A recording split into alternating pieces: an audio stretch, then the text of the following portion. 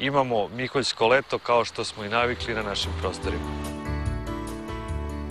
Evo jedne lepe vesti, dinar će sutra ojačati za još 0,2% i zvanični srednji kurs će biti 115,03 dinara za 1 evro. Srpska valuta će u odnosu na zajedničku evropsku biti 2,6%, jača nego pre mesec dana. 5 sati i 4 minuta, pogledajte servis naše zemlje. Novi tender za elektronski sistem naplate koji će putnicima olakšati plaćanje autobuske karte, a rasteretiti vozače, gradski prevoznik Novog Sada će raspisati tek pošto dobije saglasnost gradskog veća. U iščekivanju tog modernog načina plaćanja prevoza, stare međumesne karte su poskupele. Dnevne pojedinačne i pretplatne karte za putnike iz naselja opština Sremski Karlovci, Beočin i Žabalj korigovane su od oktobra za 6,6 do 17 odsto. Poskupljenje karata u gradskim i prigradskim autobusima za sada neće biti dok zahtev gradskog prevoznika o promjeni cena ne prihvati gradska uprava. Tokom predstojeće grejne sezone u Novom Sadu potrošači po stanovima će grejanje plaćati prema dosadašnjem načinu obračuna, odnosno po kvadratnom metru stambene površine. Prelazak na naplatu prema utrošku mogao bi da počne 2013. Kada gradsko veće usvoji odgovarajuću prateću dokumentaciju i kada u tom pogledu budu ispunjeni svi zakonski i tehnički uslovi, Novosadska toplana će početi primjenu novog sistema naplate stambenim potrošačima.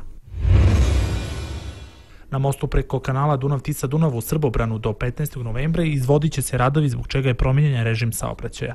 Saobraćaj preko mosta se odvija na izmeničnim propuštanjem vozila, ali i bez semaforske signalizacije.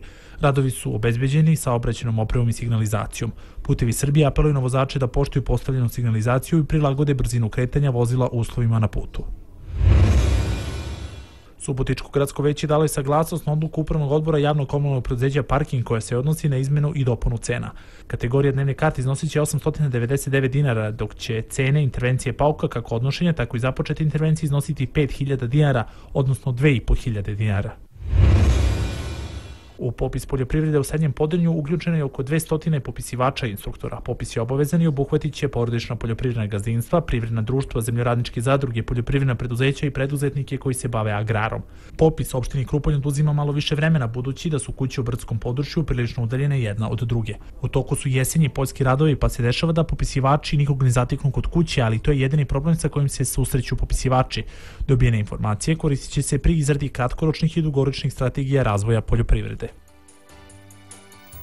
Više od 4000 korisnika daljinskog grejanja u Kragujevcu, čiji stanovi ili poslovni prostor imaju ugrađene kalorimetre, odnosno merače utroška toplotne energije, na računima ipak ne dobijaju stanje potrošnje, dodatno ih zbunjuje i to što grejanje po potrošnji plaćaju tokom cijele godine. E, sad u preduzeću energetika kažu da za to nisu odgovorni, već da je to kako tvrde obaveza javno-stambenog preduzeća Kragujevac, koje je inače zadužena za sistem e, objedinjene naplate u gradu i koji obračune dostavlja građanima. Ipak u Nacionalnoj organizaciji potrošača Srbije najavljuju tužbu protiv ovog javnog preduzeća, jer kako kaže predsjednik, to je podpredsjednik te organizacije, Zoran Nikolić, prepiska sa preduzećem oko specifikacije računa traje od jeseni prošle godine. E, to je bila još jedna informacija iz Srbije, a da vidimo što se dešava u Beogradu. Radovi na kolovu za autoputa E75 u zoni saobraćene petlje Lasta su i dalje u toku. Za saobraćaj u periodu radova zatvoreno uključenje je na autoputu u smeru ka Šidu za vozila koje dolaze iz malog mokrog luga i zatvorena je jedna polovina autoputa i to u smeru od Niša ka Šidu. Planirano je da radovi traju do 14. oktobra. Vozila koje se kreću u smeru od Šida ka Nišu koriste dve saobraćene trake autoputa, dok vozila iz suprotnog smera koriste jednu, a vozila neće moći da se isključe na saobraćenoj petlji Lasta, već će to moći da učine na saobraćenoj petlji kod Plavog mosta. Tokom izvođenja radova u Gandijevoj ulici primjenjena je posebna organizacija saobraćaja u toj ulici na delu od ulice Jurija Gagarina do južnog dela interne saobraćajnice. Vozila javnog gradskog prevoza sa linija 89 i 95 u smeru ka bloku 61 saobraćaju ulicom Jurija Gagarina i Nehruovom. U smeru ka centru grada ne menjaju smer. Vozila sa linije 82 u smeru ka Zemunu saobraćaju Nehrovom i Vojvođanskom ulicom. U smeru ka bloku 44 ove linije idu redovnom trasom. Vozila na izmenjenom delu trase ne koriste postojeće stajališta javnog gradskog prevoza. Do 8. oktobra traje prva faza radova na redovnom održavanju kolovoza u ulici Ratka Mitrovića. Za saobraćaj su zatvoreni delovi ulice od raskrsnice Ratka Mitrovića i Kneza Višeslava do raskrsnice Ratka Mitrovića i Jablaničke. Vozila sa linija javnog gradskog prevoza 37, 50, 57 i 80 kreću se izmenjenim trasama. Neko novih radova sledi druga faza na deonici od raskrsnice Ratka Mitrovića i Jablaničke do raskrsnice Ratka Mitrovića i Jaci Joksimovića, koje treba da se završi do 15. oktobra. Zbog radova na rekonstrukciji toplovoda Baštovanska ulica na delu između bulevara Oslobođenja i Vračarske ulice do 9. oktobra postaje jednosmerna od bulevara Oslobođenja ka Vračarskoj. Zbog radova na redovnom održavanju kolovoza ulici 13. oktobra izmenjen je režim saobraćaja. Do 13. oktobra za saobraćaj je zatvoren deo ulice od Slavka Miljkovića do Josipa Telarevića, a od 14. do 31. oktobra deo od ulice Josipa Telarevića do ulice Palih Boraca. Ekipe javno komunalnog preduzeća Beogradski vodovod i kanalizacija će od subote 6. oktobra do srede 10. oktobra očitavati vodomere u naselju Vrčin. Iz ovog preduzeća pozivaju sve stanovnike ovog naselja kao i vlasnike vikendica da izađu u susret čitačima i tako pomognu da se ova akcija uspešno završi. U slučaju loših vremenskih uslova, očitavanje će biti odloženo za prvu sledeću priliku kada vremenski uslovi budu prihvatljivi. Beogradski vodovod i kanalizacija apeluju na sve potrošače da omoguće pristup vodomernim skloništima, da vodomerna mesta budu dostupne čista, da kapije dvorište ili podruma u kojima se vodomeri nalaze budu otključena, da vozila budu parkirana van šahtova i na taj način doprinesu efikasnom očitavanju vodomera. Pošta Srbije ponovo vrši dostavu svih upletnica objedinjene naplate infostana na kućne adrese korisnika. Javno preduzeće PTT Srbije će dostavu računa za utrošene komunalne usluge i proizvode vršiti za 635.000 domaćinstava na teritoriji grada Beograda. Građani će, kao i do sada, plaćanje ove usluge moći da u svim poštama bez provizije. Elektrodistribucija Beograd za danas planira isključenje struje potrošačima u pojedinim delovima naselja Zuce, Kumodraž i Jajinci, uključujući i pojedine ulice opštine Voždovac u maksimalnom trajanju od 8 do 18 časova.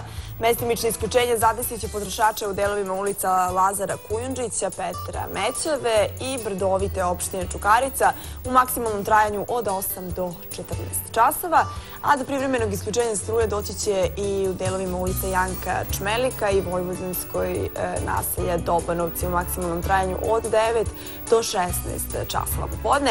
Za detaljne informacije o planiranim isključenjima možete postaviti sajt edb.rs.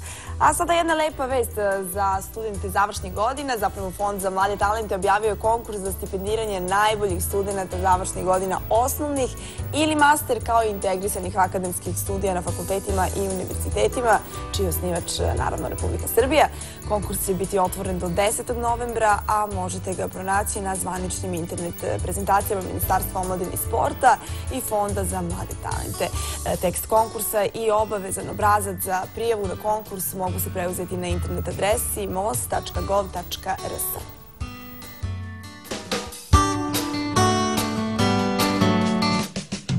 Čak 49 kragujevačkih osnovaca i srednjoškolaca ove godine osvojilo je neko od prva tri mesta na republičkim takmičenjima.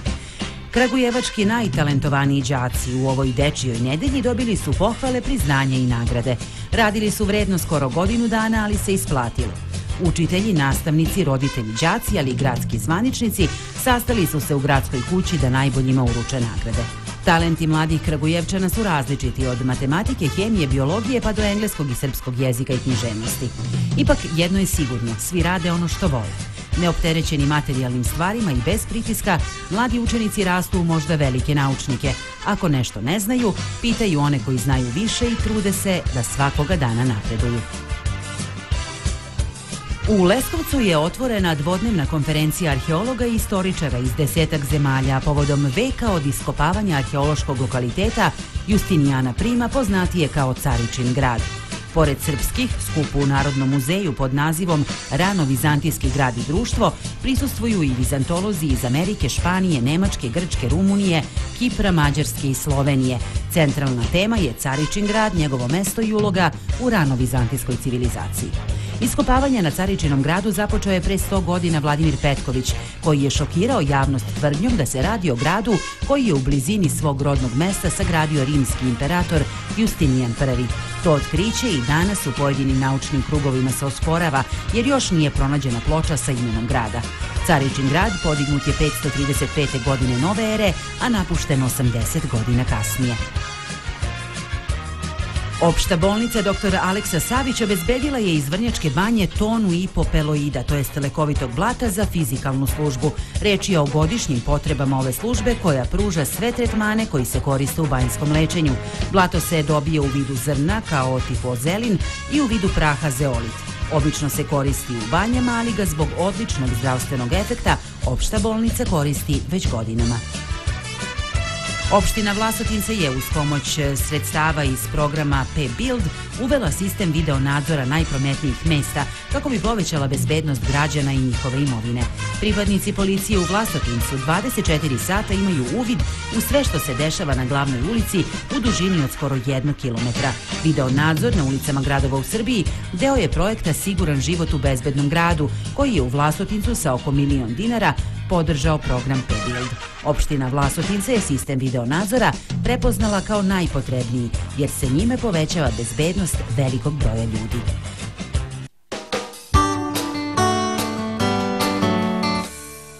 Su to dobre vesti za dobro jutro. Sada minute posvećujemo u poljoprivredi. Vojvođanski sekretarijet za poljoprivredu apelovao je na zemljoradnike da se suzdrže od paljanja ostataka žetve na njivama, jer tako može da dođe do požara, a pored toga što je takvo paljenje zabrnjeno zakonom, zemljištu se nanosi velika šteta.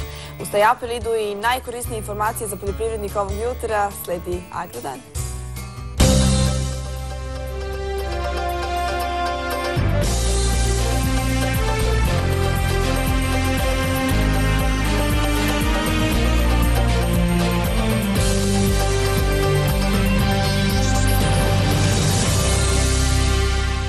Dobrodošli u najnoviji Agrodan, emisiju o aktuelnostima u poljoprivredi. Slede najvažnije teme.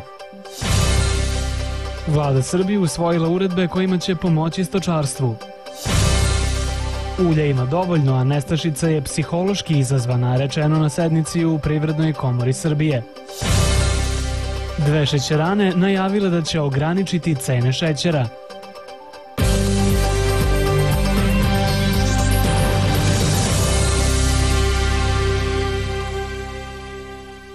Vlada Srbije usvojila je uredbe kojima su duplirane subvencije u stočarskoj proizvodnji i povećana premija za litar mleka.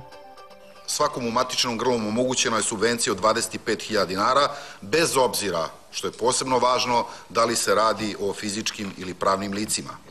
Iznos subvencija za tov junadi povećan je duplo, sa 5 na 10.000 dinara, a svinja sa 500 na 1.000 dinara. Takođe, premije za mleko, kao što znate, povećane su sa 5 na 7 dinara, evo to je današnja uredba, tako da će i ovaj poslednji kvartal biti bitni znatno isplativiji za sve proizvođače mleka.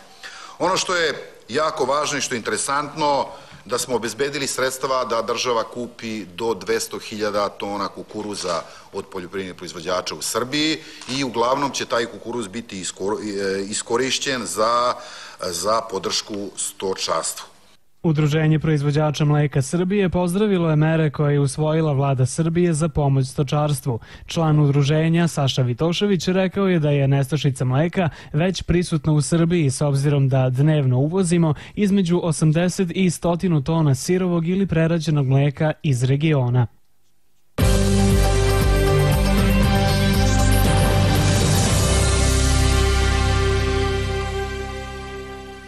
Jestivog ulja bit će dovoljno i za građane i za prerađivače, te više nema razloga za intervencije radi stabilizacije tržišta, rekla je direktorka poslovne zajednice za industrijsko bilje Olga Čurović. Na sednici grupacije proizvođača biljnih ulja Udruženja poljoprivrede u Privrednoj komori Srbije, Olga Čurović je rekla da su trenutno proizvodnje i ponuda ulja od suncokreta duplo veće od potrošnje stanovništva. Ona je naglasila da je suncokret ove godine i pored suše i smanjenja roda za više od 25% imao dobar prinos. Nestašica ulja je izazvana procenama građana da je suša pogodila sve useve i da su poskupljenja neizbežna, istakla je direktorka.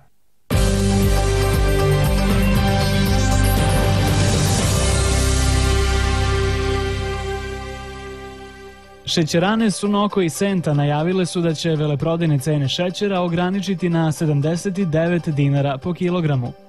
Maksimalna trgovačka marža na šećer je 10%, što znači da će šećer te dve šećerane u radnjama biti jeftiniji od onoga koji isporučuju državne robne rezerve po ceni od 95 dinara.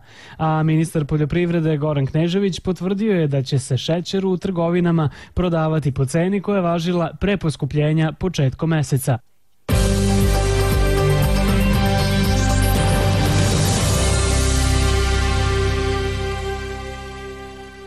Zlatiborka Janošević-Jović uspešno se bavi stočarstvom i ratarstvom. U selu Dubočka kod Petrovca na Mlavi ona je najveći proizvođač mleka. Na svom imanju imam osam uznih krava, šest junica, svinje, ovce, sve što se podrazumeva za jedno domaćinstvo. Bavim se i ratarstvom, 20 hektara pšenice, kukuruz na 15 hektara, soju na 4. Proizvodi se za sobstvene potrebe, a višak u Evromlin predajemo u Petrovcu na Mlavi. Saradnja gazdinstva sa stručnjacima poljoprivredne službe izuzetno je uspešna. Dolaze, obilaze i polja i stoku. Grla se izvode na sajam, na poljoprivredne sajam u Petrovcu. Junica je osvojila šampionsku nagradu. Zlatiborka nema mogućnosti da izvede krave na ispašu, ali zato im daje izuzetno kvalitetnu hranu. Pa stoka se hrani lucerkom i silažom i koncentratom kojim ja spravim na svom domaćinstvu. Pored toga, krave se hrane i ječmom, kukuruzom i stočnim brašnom. Prosečan prinos mleka je solidan, 25 litara dnevno, jer je naravno reč o rasnim grlima.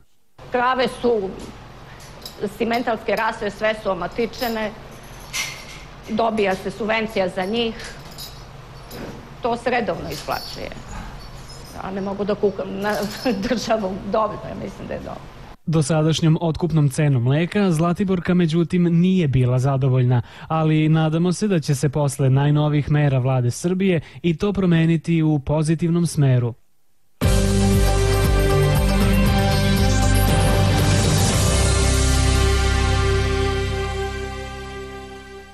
Prostirka za goveda je izuzetno značajna zato što obezbeđuje dobro zdravlje vimena, sprečava povrede nogu i obezbeđuje dobar kvalitet mleka. Kod goveda se kao prostirka mogu koristiti različiti materijali. Opšte prihvaćena je slama jer odlično upija vlagu i čuva toplotu ispod ležećih životinja. Mekana je, ne kliže i pokriva tvrde delove. Ako ima dovoljno slame, uvek se preporučuje njena upotreba, kaže diplomirani inženjer Predrag Perić, a prenosi Agroinfotela. Slama treba da bude suva i čista, pri čemu najveću sposobnost upijenja vlage ima isitnjena slama, zatim presovana i na kraju rasuta. Slama dobijena od ozimih vrsta pšenica bolje je od jarih, a pšenična i ovsena slama od ječmene. Druga vrsta prostirke je piljevina jer je kvalitetna i ima moć upijanja. U njoj ne sme da bude iverice, a treba da bude debljine do 3 cm. Dobra prostirka za odmor krava može biti i gumena strunjača koja je ujedno i dobar izolacioni materijal. Laka je za održavanje i može se koristiti do 10 godina i na posledku za prostirku se može koristiti i dušek debljine od 8 do 10 cm. Lako se čisti i smanjuje mogućnost povreda te pruža dobar odmor i komfor kravama.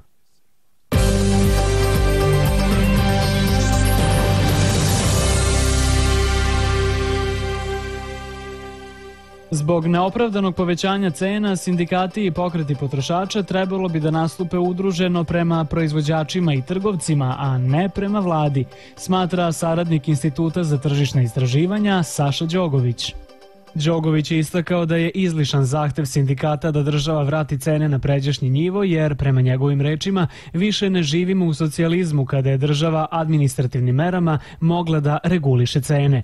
Kako je ocenio, sindikati i pokreti potrošača trebalo bi da posredstvom medija etiketiraju trgovce i proizvođače za koje smatraju da su neopravdano podigli cene i protiv njih sprovedu negativnu kampanju, a istovremeno pozovu građane na bojkot tokom određenog perioda.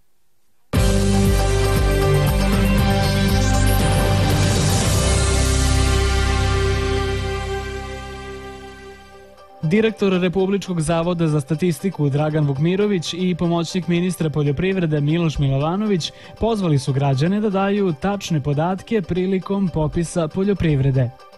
Gostujući na RTS-u, oni su istakli da će popis omogućiti sagledavanje stanja u poljoprivredi i lakši pristup evropskim subvencijama.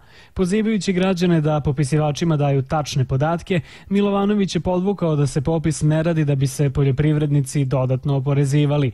On je naglasio da je popis od prvorazrednog značaja i da treba da pruži analitičku osnovu za kreiranje adekvatne politike u oblasti poljoprivrede i stimulisanja poljoprivredne proizvodnje.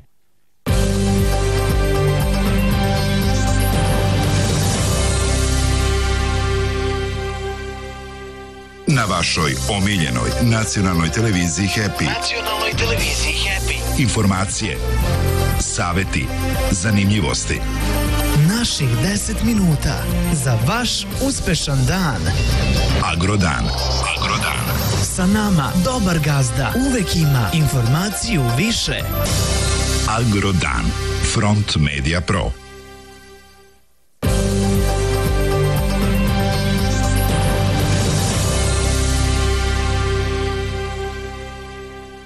Na kraju emisije sledi vremenska prognoza. Prijatelj rubrike je kompanija Albus iz Novog Sada.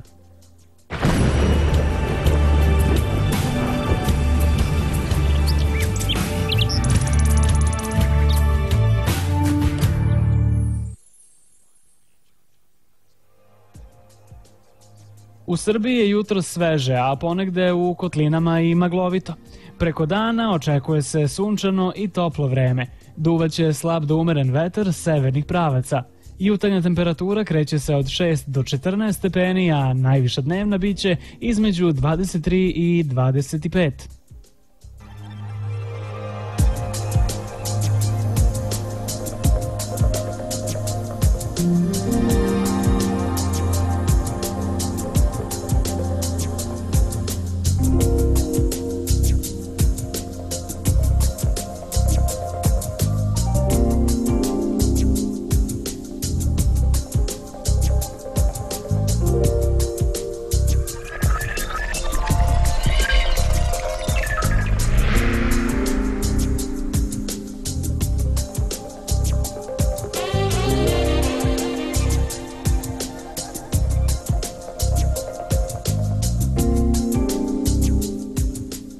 Iako je preko dana sunčano i toplo, čini se da nas Mihojsko leto polako, ali sigurno napušta.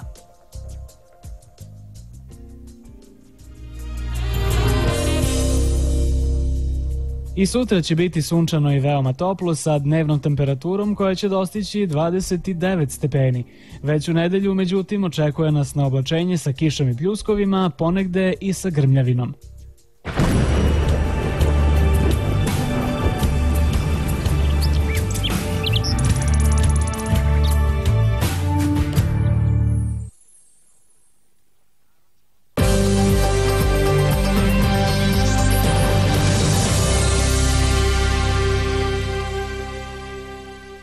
Bilo je to sve što smo vam pripremili za današnju emisiju. Naredni Agrodan gledajte već sutra u istim terminima. Umeđu vremenu potražite nas i na internetu. Adresa je agrodan.info. Vidimo se!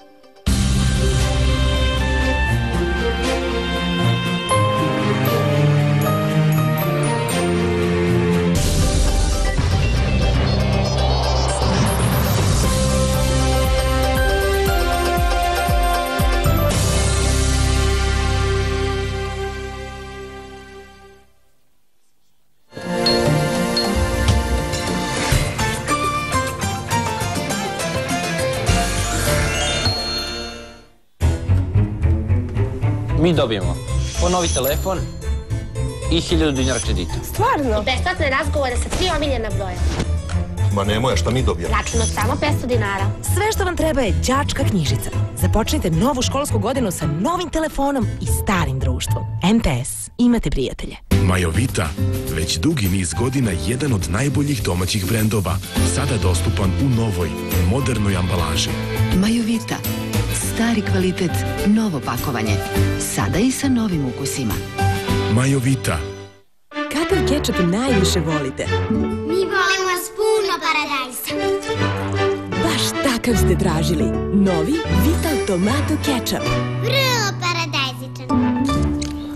Novo u starom dobrom Brankodeksu. Nova kolekcija za stare kupce. Svi proizvodi 60% popusta. Samo do kraja meseca. Nosiš sad, platiš za 120 dana. To može samo Brankodeks i novi Brankodeks na Banovom brdu. Požeška 148.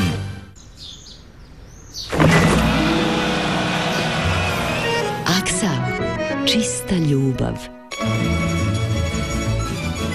Pekarska industrija Pančevo. Sve vrste najkvalitetnijeg svežeg hleba i peciva.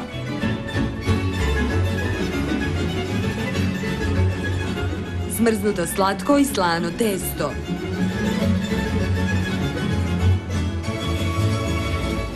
Pekara sa tradicijom. Pekarska industrija, Pančevo. Garaža u vašoj blizini. Desanke Maksimović 8, ulaz iz Krunske. Mesečni najam za fizička i pravna lica. Kamere pokrivaju svaki ugao. 377 8006.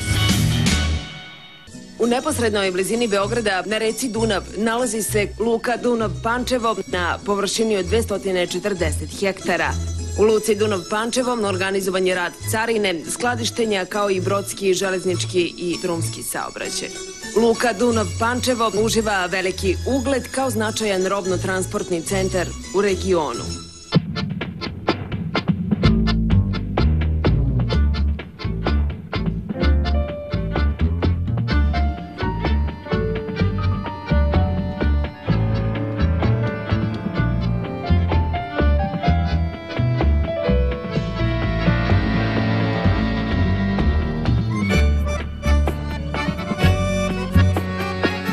Mediteran u Beogradu.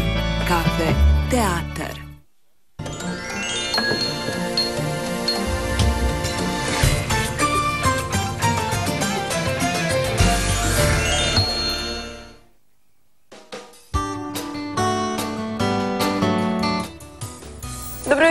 Evo nas ponovo u studiju. Nadam se e, da je poljoprivrednicima prije ovaj agrodana. Mi nastavljamo dalje da vas informišemo. Ustavni sud Srbije proglasio je kao neustavnu odluku grada Beograda da se zabrani prodaje alkohola posle 22 sata.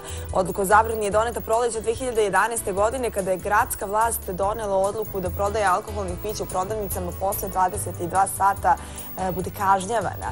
Tada je doneta i odluka da vlasnici kafića u stambenim zgradama od e, lokala moraju e, da zatvore do ponoći radnim danima, a prema statističkim podacima prosječna potrošačka korpa u Srbiji iznosi nešto više od 44.000 dinara. Međutim, sugrađani se sa tim podatkom uopšte ne slažu. Oni kažu da se naročito u oktobru mesecu mnogo više novca daje za hranu, gorivo, ogrevi, jesen i garderobu. Sve potrebne stvari koje su neophodne za život, a statistika ih uopšte ne obuhvata. Kada bi za i obuću izdvajali onoliko koliko predviđa zvanična statistika, Beograđani bi jesen dočekali u kratkim rukavima. Za kupovinu garderobe prosječna potrošačka korpa četvoročlanom domaćinstvu mesečno ostavlja 2033 dinara. Tako je namenjeno neverovatnih 281 dinar za pantalone, sako i košulje. Suknju, džemper i bluzu treba ukalkulisati u 175 dinara, dok je statistika prema kupovini jesenjih kaputa i mantila bila nešto izdašnija, 627 dinara. Kada dođe jesen, osnovni odevni predmeti koji su nam potrebni je upravo ono što vidite na meni. Jedan kaput, džemperić ili sako, u ovom slučaju ja sam izabrala sako, i pantalone. Cena ovog kaputa koji je na meni iznosi 13.990 dinara. Cena sakoa je 6.490 dinara i ove pantalone su 2.990. Mi smo krenuli da proverimo da li jedna prosječna potrošačka korpa u Srbiji može da pretrpi jesenju sezonu garderobe. Cena najosnovnijih odevnih predmeta koje smo mi izdvojili iznosila je 23.500 dinara, što je daleko više od statističkih 2033 dinara. Naši sugrađani kažu da je podatak do kojeg smo mi došli tačniji i da njihova potrošačka korpa ne može da ga podmeri. Pa teško da može, teško. Za jesenju garderobu, pa u zavisnosti sa situacijom u kojoj se nalazimo, ja mislim da verovatno pola primanja prosječnih u Srbiji.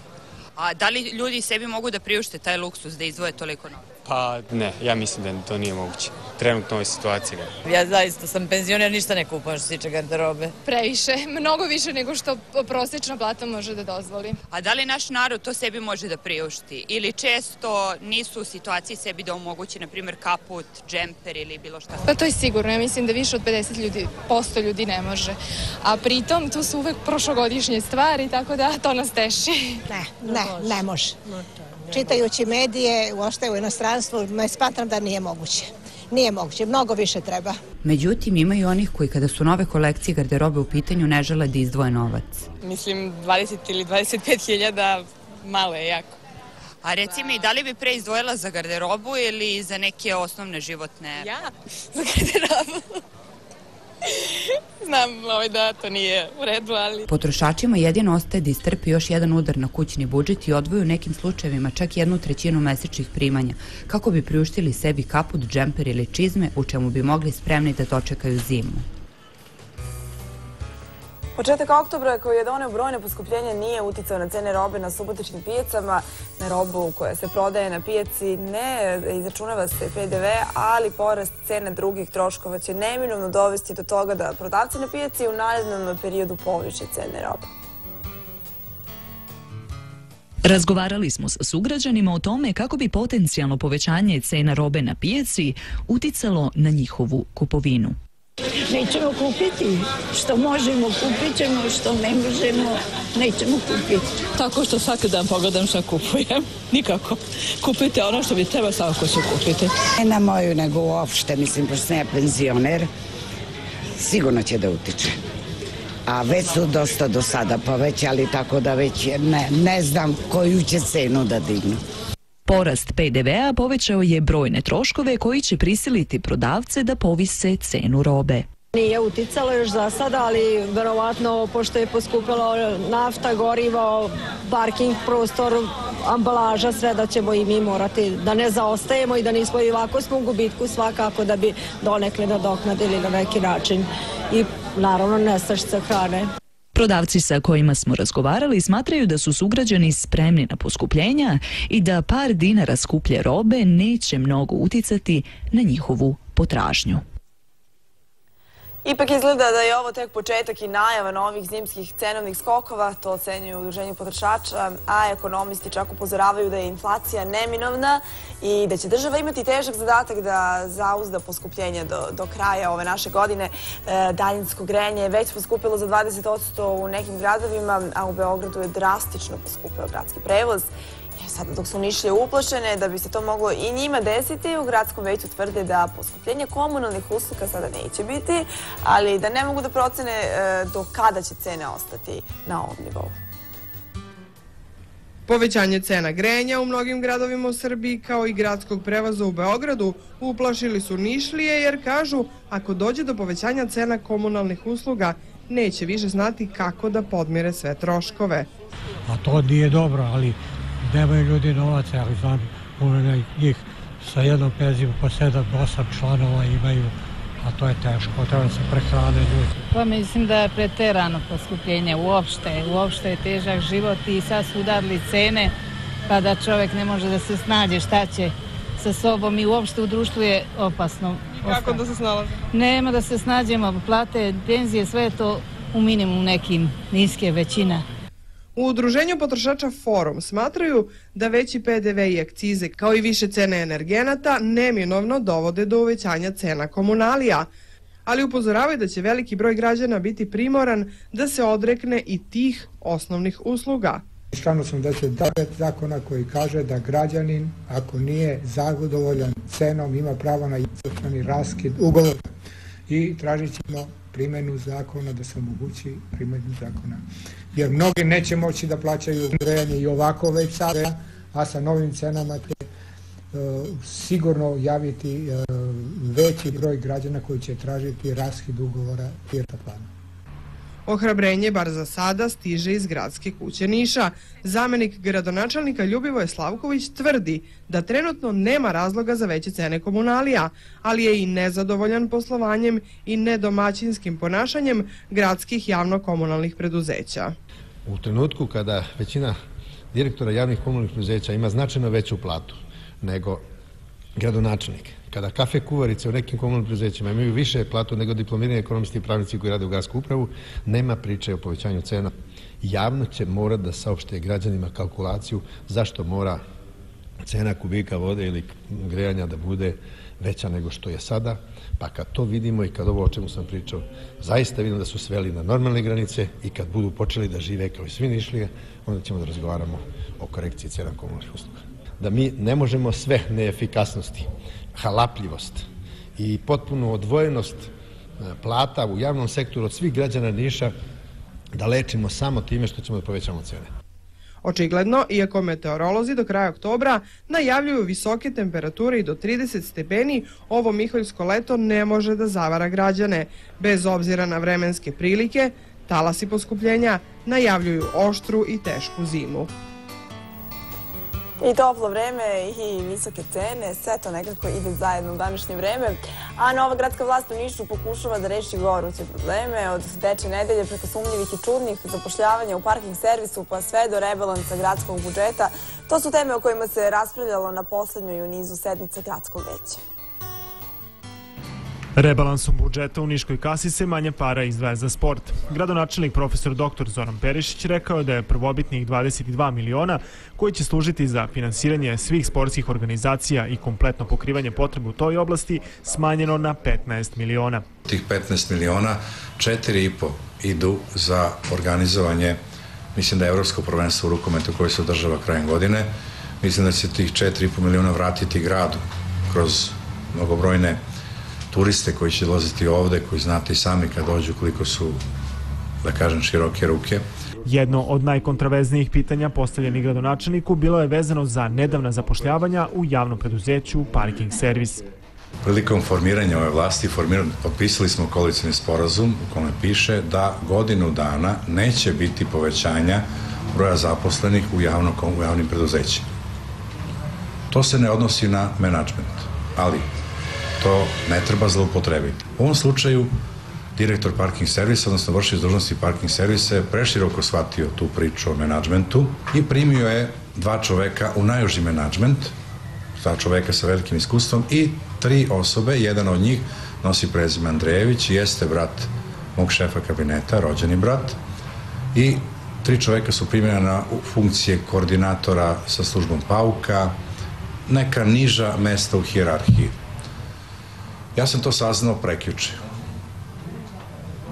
Pozvao sam direktora, razgovarao sam sa njim i ti ljudi, ta trojica od danas ne rade u parking servisu. Gradonačelnik je takođe izrazio želju da grad više pomaže njegovim najmlađim meštanima. Planirana je izgradnja još jedne škole, a u budućnosti moguća je i organizacija prevoza dece iz okolnih sela i udaljenih delova grada. Ovaj projekat, međutim, može se ostvariti samo kada se trošenja grada normalizuju.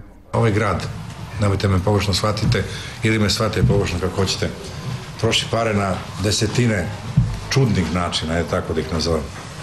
I razgovarao sam sa resornom upravom i sa par direktora škola s kojima sam obavio razgovor, bili su oduševljeni.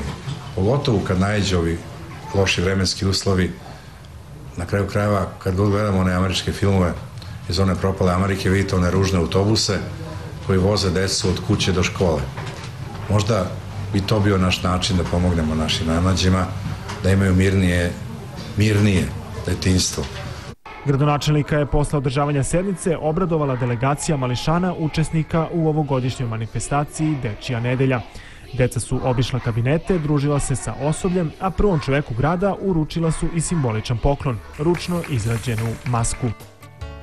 Dečija nedelja održava se širom Srbije ove prve nedelje oktobra, a dok su u Nišu Modišani posetili gradonačelnika i uručili mu poklon, u Novom pazaru gradonačelnik Meho Mahmutović u okviru tradicionalne posete dečijem odeljenju bolnice obišao je decu koje, nažalost, nisu bili u prilici da se priključe vršnjacima u ovogodišnjem veselju.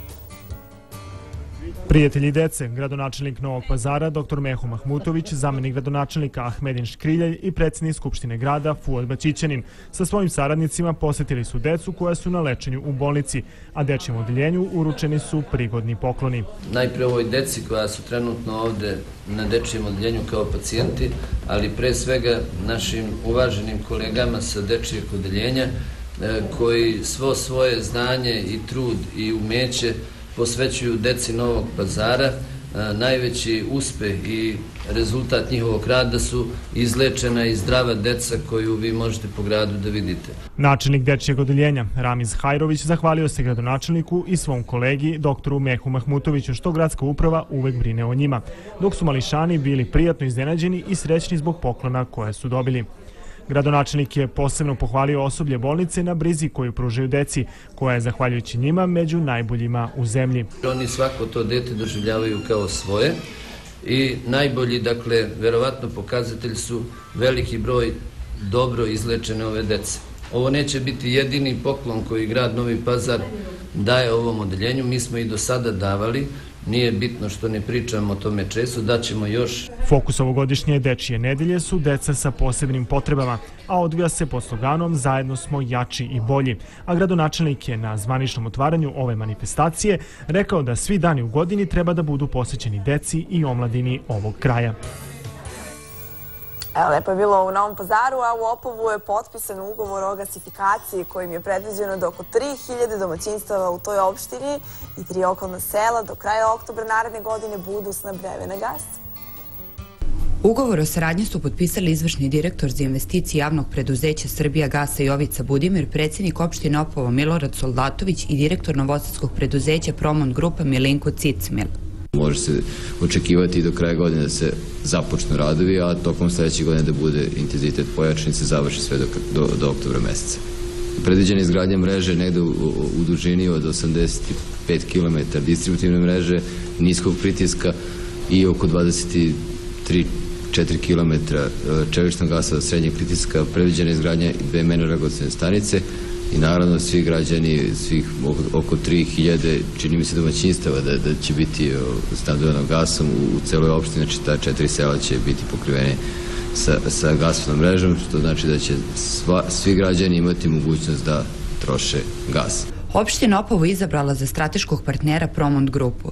Projektna dokumentacija urađena još pre 7 godina, a pre toga je urađena anketa među građanima koja je pokazala da 50% njih je zainteresovano da svoje kuće priključe na gasovod.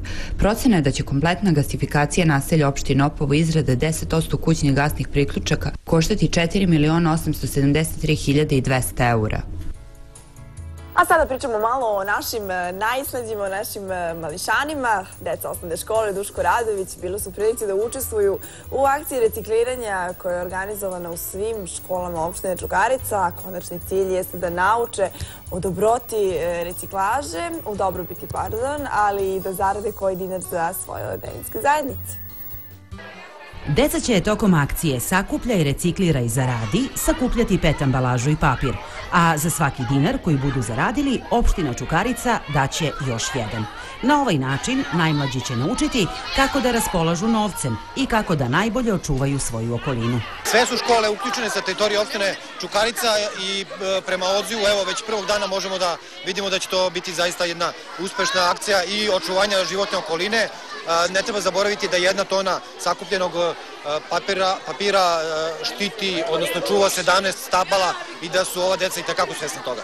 Ovo nije prvi put da deca osnovne škole Duško Radović učestvuju u ovakvim akcijama i uvek unapred pripreme materijal za reciklažu i plan kako da ulože zarađeni novac. Oni imaju ideja, uglavnom su pomagali drugarima za rekreativnu, za ekskurzije, kupovali nešto od nekog sredstva, nastavnog sredstva, za uređenje učionica, znači njihove ideje i trebali bi vi ponekad da se učimo tim idejama.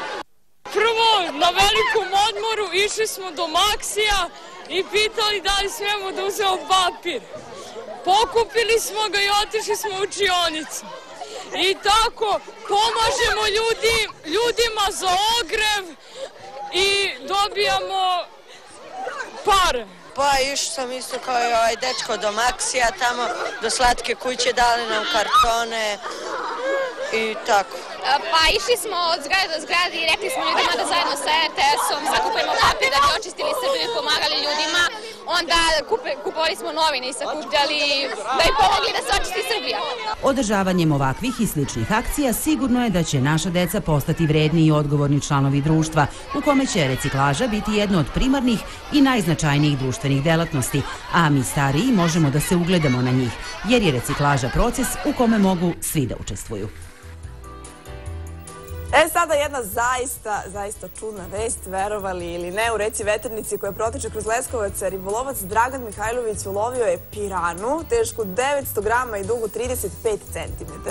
Leskovački, leskovački ribolovci uopšte ne znaju kako je pirana došla u Veternicu, ali znaju da nikada do sada u toj reci nije bilo egzotičnih riba. Da li će biti i dalje, to nam ostaje da vidimo. A u reci Rasini, za malo da ne bude riba uopšte, da to uh, ne bude tako pobrinula se ribočuvarska služba u gornjem toku reke Rasine kod Aleksandrovca, gde je pre četiri meseca zabeležen pomor ribe. Spušteno je 25.000 komada potočne pastrnke. Plan korisnika dela ribarskog područja Srbija-Jugozapad je da se do 2020. godine izvrši masovno poribljavanje.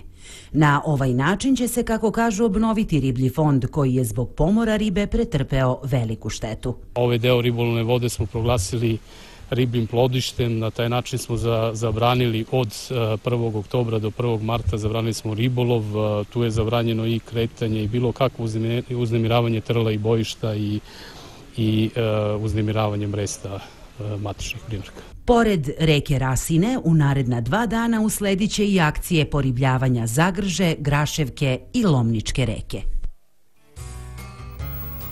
Ako ne odlučite da krenete negde na pecanje, sigurni smo da ćete pronaći način da u dane vikenda na kratko zaboravite na probleme i da jednostavno uživate. Ponekad za to treba previše novca, ali nekad mogu biti dovoljni samo volja i lepo vreme. Beograđani su i pred ovaj vikend proveravali kalendar pitajući se da li je kraj ili početak leta. Iako je kupališna sezona završena, Beograđani svaki topli i slobodan dan provode na reci ili jezeru. Naši omladinci tokom neradnih dana vikenda uglavnom vreme koriste za sunčanje, vožnju bicikla, rolera, kao i spijanje kafe u kafićima, ali i bavljanje sportskim aktivnostima. Neki su odlučili da dan provedu baveći se sportom, pa su svi tereni već rezervisani. Najpopularniji srpski sport roštiljanje upražnjavaće gosti Adi ovog vikenda. A osim opojnog mirisa mesa na šetalištu se očekuje širenje mirisa pečenih paprika, budući da će beogradske domaćici ovog vikenda spremati zimnicu. I vlasnike kućnih ljubimaca obradovala nava meteorologa za ovaj vikend, jer će moći da se igraju i trčkaraju za svojim veselim i razraganim psima. Oni koji su se odmarali od naporne radne nedelje uglavnom će spas potražiti u mnogobrojnim kafićima i restoranima, nadajući se da će do zime biti još sunčanih i prijetnih dana. Međutim, neće svi negde ići ovog vikenda. Usled skupog života i nestašica novca, mnogim beograđanima ne preostaje ništa drugo nego da vikend provedu kod kuće. I gde ćete provesti ovaj vikend? Kod kuće. A da li narod ima para za da provede vikend onako kako bi volao? Nema, ja mislim da nema, bar oni u mom okruženju što su. A, vikend provodim učeći, bar ovaj, a što se tiče novca za a, e, naše ljude i za izlaske, mislim da ga je nažalost sve manje. Gledajući moje juniore koji su sa mnom, vidim da jako teško prolaze. Da nema mene, ne verujem da bi imali i za hranu. A ja, vikend mi je na keju. I vikend, i radni dan, i sve. Kod kuće. Ja ću u Guči. Ovaj vikend sa decom sam planirala da provedem, a prošle nedelje smo bili na festivalu cveća. Eto to, a sad idemo na Dunav da sedimo.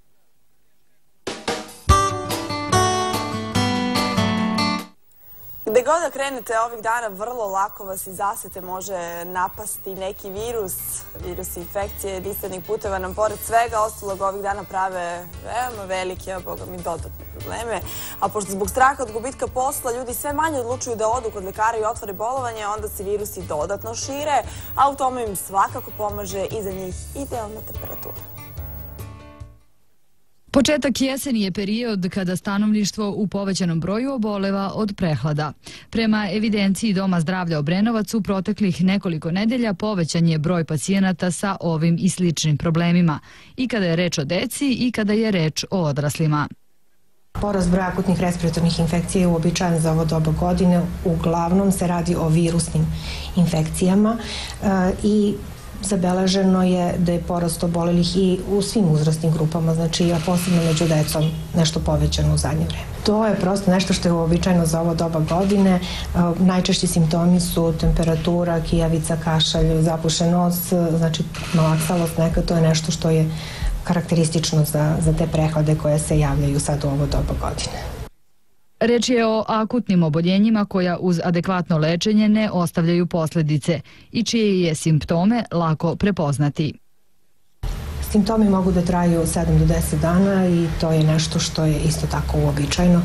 Mogu da traju naravno i kraće, ali ukoliko traju nešto duže treba se javiti kod lekara i sa lekarom e, konsultovati se da li treba nešto od terapije, odnosno od antibiotika, jer na te virusne infekcije može da se nadoveže bakterijska infekcija, u tom slučaju treba koristiti antibiotike.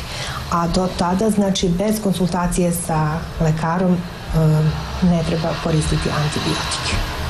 Kako bi se sprečila pojava akutnih respiratornih infekcija, neophodno je jačati imunitet i slediti savete lekara.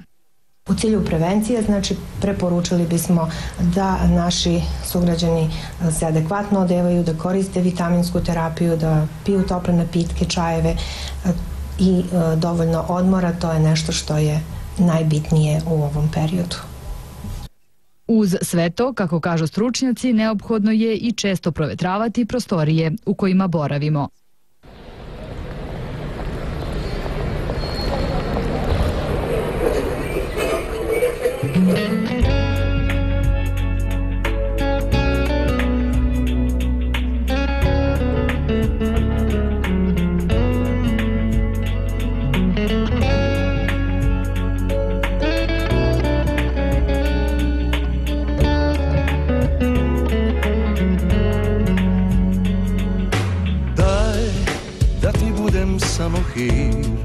A nikad želja.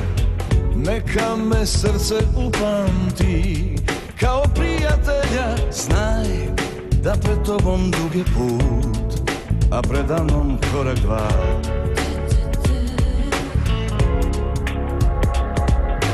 Ti nemaš ti o ljubavi Pojma milo moje Samo da đavo ne čuje Te želje tvoje To što me budna sanjaš sad Činiš da sam opet mlad. To je zabluda Nije za te Lažnoga srebra sjaj u kosi nije za te. Onaj ko sobom tugu nosi nije za te Meni za vratom jesen diše dok na proleće miriše. Nije za te Stari je drenjak nasred mora nije za te. Ovaj hleb sa sedam kora nije za te. Meni za vratom jesen diše dok na proleće miriše. Dodir tvoj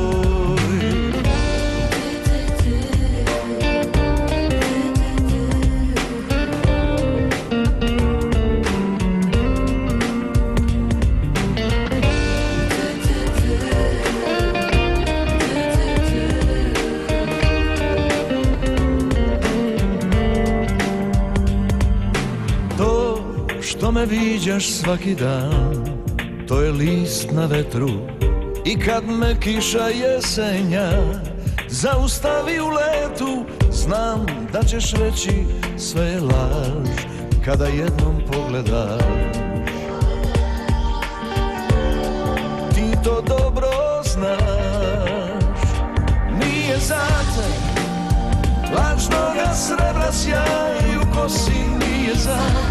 Onaj ko sobom tugu nosi nije za te Meni za vratom jesen diše Dok na proleće miriše Nije za te Stari je drenjak nasred mora Nije za te Ovaj hleb sa sedam kora Nije za te Meni za vratom jesen diše Dok na proleće miriše dodir tvoj.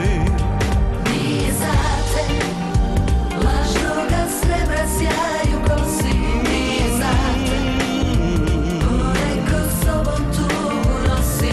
Nije za te Meni za vratom jesen diše Dok na proleće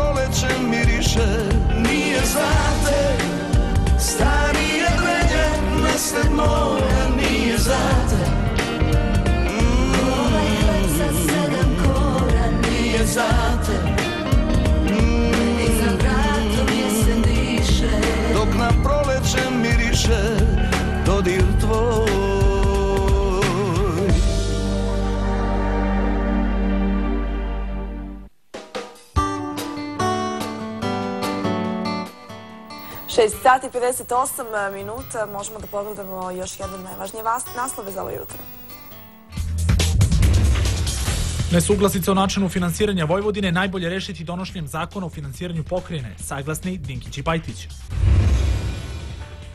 Odlukom vlade, Direkcija za robne rezerve intervenisat će na tržištu sa dodatnih 3 miliona litara ulja. Posmrtni ostaci kneza Pavla, kneginje Olge Kneževića Nikole Karađorđevića, ekshumirani u Lozani, preneti u Sabornu crkvu u Beogradu. NATO osudio Siriju zbog granatiranja turskog grada Akčakale. Sirija preuzela odgovornost i izvinila se zbog minobacačkog napada. Nastavlja se Miholjsko leto. U Srbiji danas sunčano i toplo.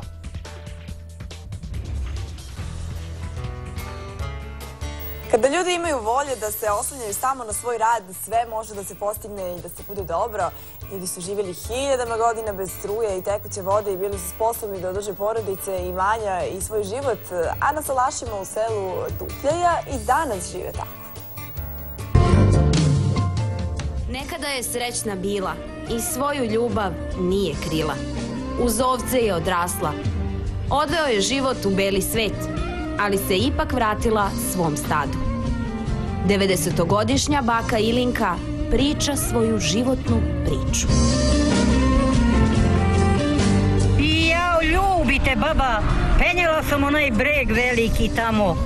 Išla sam gore, imala sam 200 glava ovaca. I muzla, i čuvala, i sve, sve je dotrajala snaga. Gotova je. A i u Ameriku sam bila. E. Tri put. I? Ja, tri put i ja, deda, deda, deset godina, a ja sam bila tri put. Idem godinu i po dana i razbolim se, ne mogu da... Kako je bilo tamo? Dobro, kako da ne, kad, kad radiš, radnik sam bila opasan radnik, voleli me, radila sam kao, šta da ti kažem? A gde je u Americi?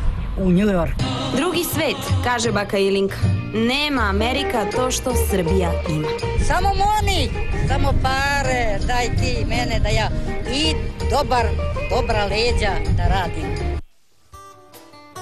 Zanimljiva je ova baka, ali važno da je srećna. Što se tiče vremena u našoj zemlji, Miholjsko leto nas ne napušta, više nam i ne smeta jer smo navikli na za ovo dobo godine neprikladne temperature. Ako to stavimo na stranu, vreme će biti više nego lepo.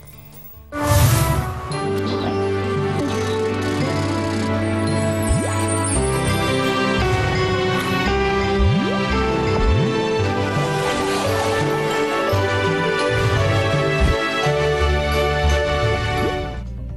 U Srbiji u petak jutro sveže, u kotlinama i dolinama maglovito. Tokom dana sunčano i toplo, duvaće slab do umeren severozapadni vetar. Minimalna temperatura od 6 do 14, a maksimalna dnevna od 23 do 27 stepeni. U subotu sunčano i veoma toplo sa maksimalnom temperaturom do 29 stepeni. U nedelju na oblačenje sa kišom i pljuskovima, ponegde i sa grmljavinom. Početkom sledeće sedmice hladnije. U Beogradu petak sunčano i toplo, duvaće slab do umeren severozapadni vetar. Minimalna temperatura 13, maksimalna dnevna 26 stepeni. U subotu sunčano i veoma toplo, u nedelju u sredinom dana na oblačenje sa kišom, pljuskovima i padom temperature, u toku noći razvedravanje. U ponedeljak sunčano.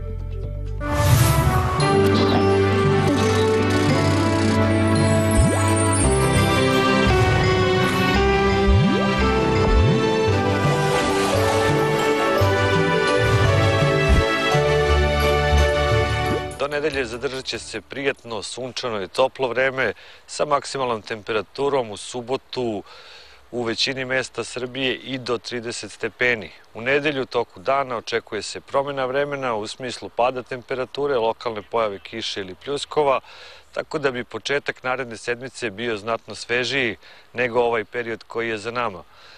Zatim, posle utorka koji bi verovatno bio sa najhladnijim jutrom na teritoriji Srbije, ponegde može biti i jutarnjeg mraza, očekuje se opet dalji porast temperature, tako da generalno u periodu do 15. oktobra imamo Miholjsko leto kao što smo i navikli na našim prostorima. Poslednjih godina sve više se govori o bezbednosti dece u saobraćaju. Agencija za bezbednost saobraćaja organizovala je edukativni čas u osnovnoj školi četvrti Kraljevački bataljon, na kojoj je maskota naravno bio Pažljivko i on je prvacima kroz smeh, šalu i improvizovane situacije u saobraćaju objasnio osnovna pravila, znakove i propise. Pa da pogledamo kako je bilo. Deci nižih razreda osnovne škole veoma je važno da konstantno govorimo o bezbednosti u saobraćaju. Istog razloga Agencija za bezbednost saobraćaja nastavila je prošlogodišnju kampanju po školama Pažnja sad, u okviru koje na interesantan i zabavan način mališane uče pravilima u saobraćaju. Maskota Pažljivko posetio je prvake osnovne škole četvrti Kraljevački bataljon, koji su, kako su nam rekli, dosta toga naučili. Kako da prelazim preko ulice. I šta si ti naučila? Da prelazim preko ulice i da gledam levo desno. Jel poštuješ pravila u saobraćaju? Da.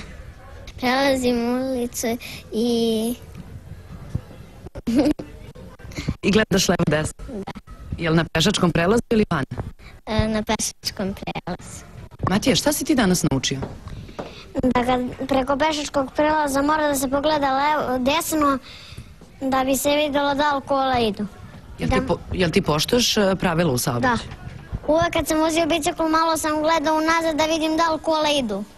Naučila sam kako da se krećem u saobraćaju. Jesi li znala i ranije? Da. A koliko ti je danas ovo predavanje pomoglo? E, puno, zato što ja treba od sledeće godine da odem sama u školu i ovo mi je mnogo pomoglo zato što da znam kako da se krećem pravilno ulicom. Efikasna edukacija dece u bezbednosti saobraćaja zahteva i praktične vežbe u kojima mališani aktivno učestvuju. Prvacima je na ovom edukativnom času uz šalu i igru pažljivko objasnio kako se prelazi ulica, saobraćene znakove, a i sami su bili akteri improvizovanih situacija. Zaista sam oduševljen kako e, deca reaguju, vidim da oni već dosta znaju što se tiče saobraćaja i načina kako da se ponašaju u saobraćaju, to je ohrabrujuće.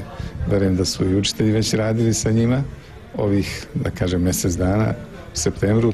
Takođe, verujem da su i roditelji. Ali ono što želim da istaknem jeste da prema nekim našim analizama deca su najviše ugrožena kao putnici.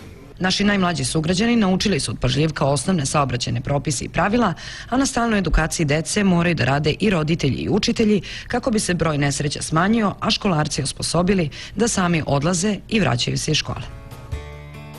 Lepo je ovim mališanima bilo sa pažljivkom, a ako vi do sada niste upoznali pažljivka, vreme je da ga upoznate i da sa njim upoznate i svoje mališane.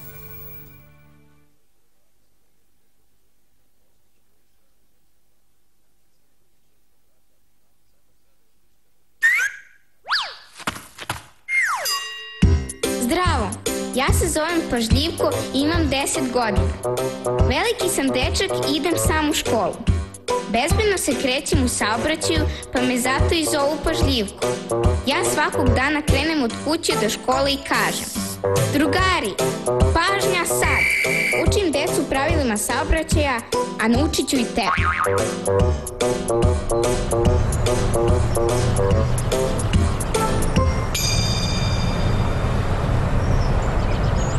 tebe.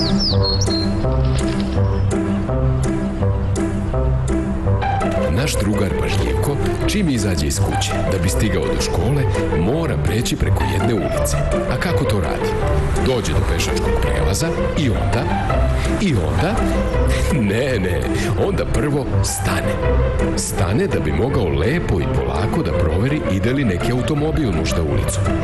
Zato Pažljivko prvo pogleda levo, zatim desno, pa opet levo i ako nema vozila, naravno, prelazi preko ulice.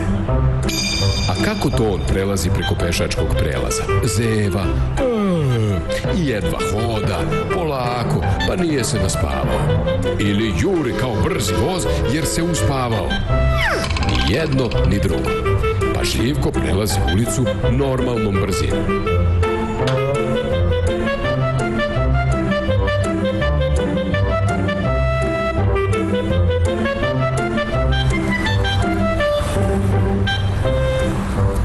Naš drugar ide u školu, naravno trotoarom, i to stranom trotoara udaljenom od kolovoza, često razmišlja. Znaju li njegovi vršnjaci kako se kreće ulicama bez trotoara? Da treba da idu levom stranom ulice, suprotno od smera kretanja vozila, uz samu ivicu, pa i dalje od nje ako postoji staza. Samo tako kada se kreću u susret vozilima, mogu da prate njihovo kretanje, a i vozači mogu na vreme da ih primete. Postoje ulice koje se ne mogu preći bezbedno. Zato pašljivko, da bi prešao na drugu stranu ulice, koristi podzemne prolaze. Ili pasarele, odnosno nadzemne prolaze. Preko ulica kojima se brzo kreće veliki broj automobila se ne prelazi, osim ako nema semafora i pešačkih prelaza. Drugari, eto kako ja to radim i bezbedan sam u saobraćaju. A vi, budite i vi kao pažljivo.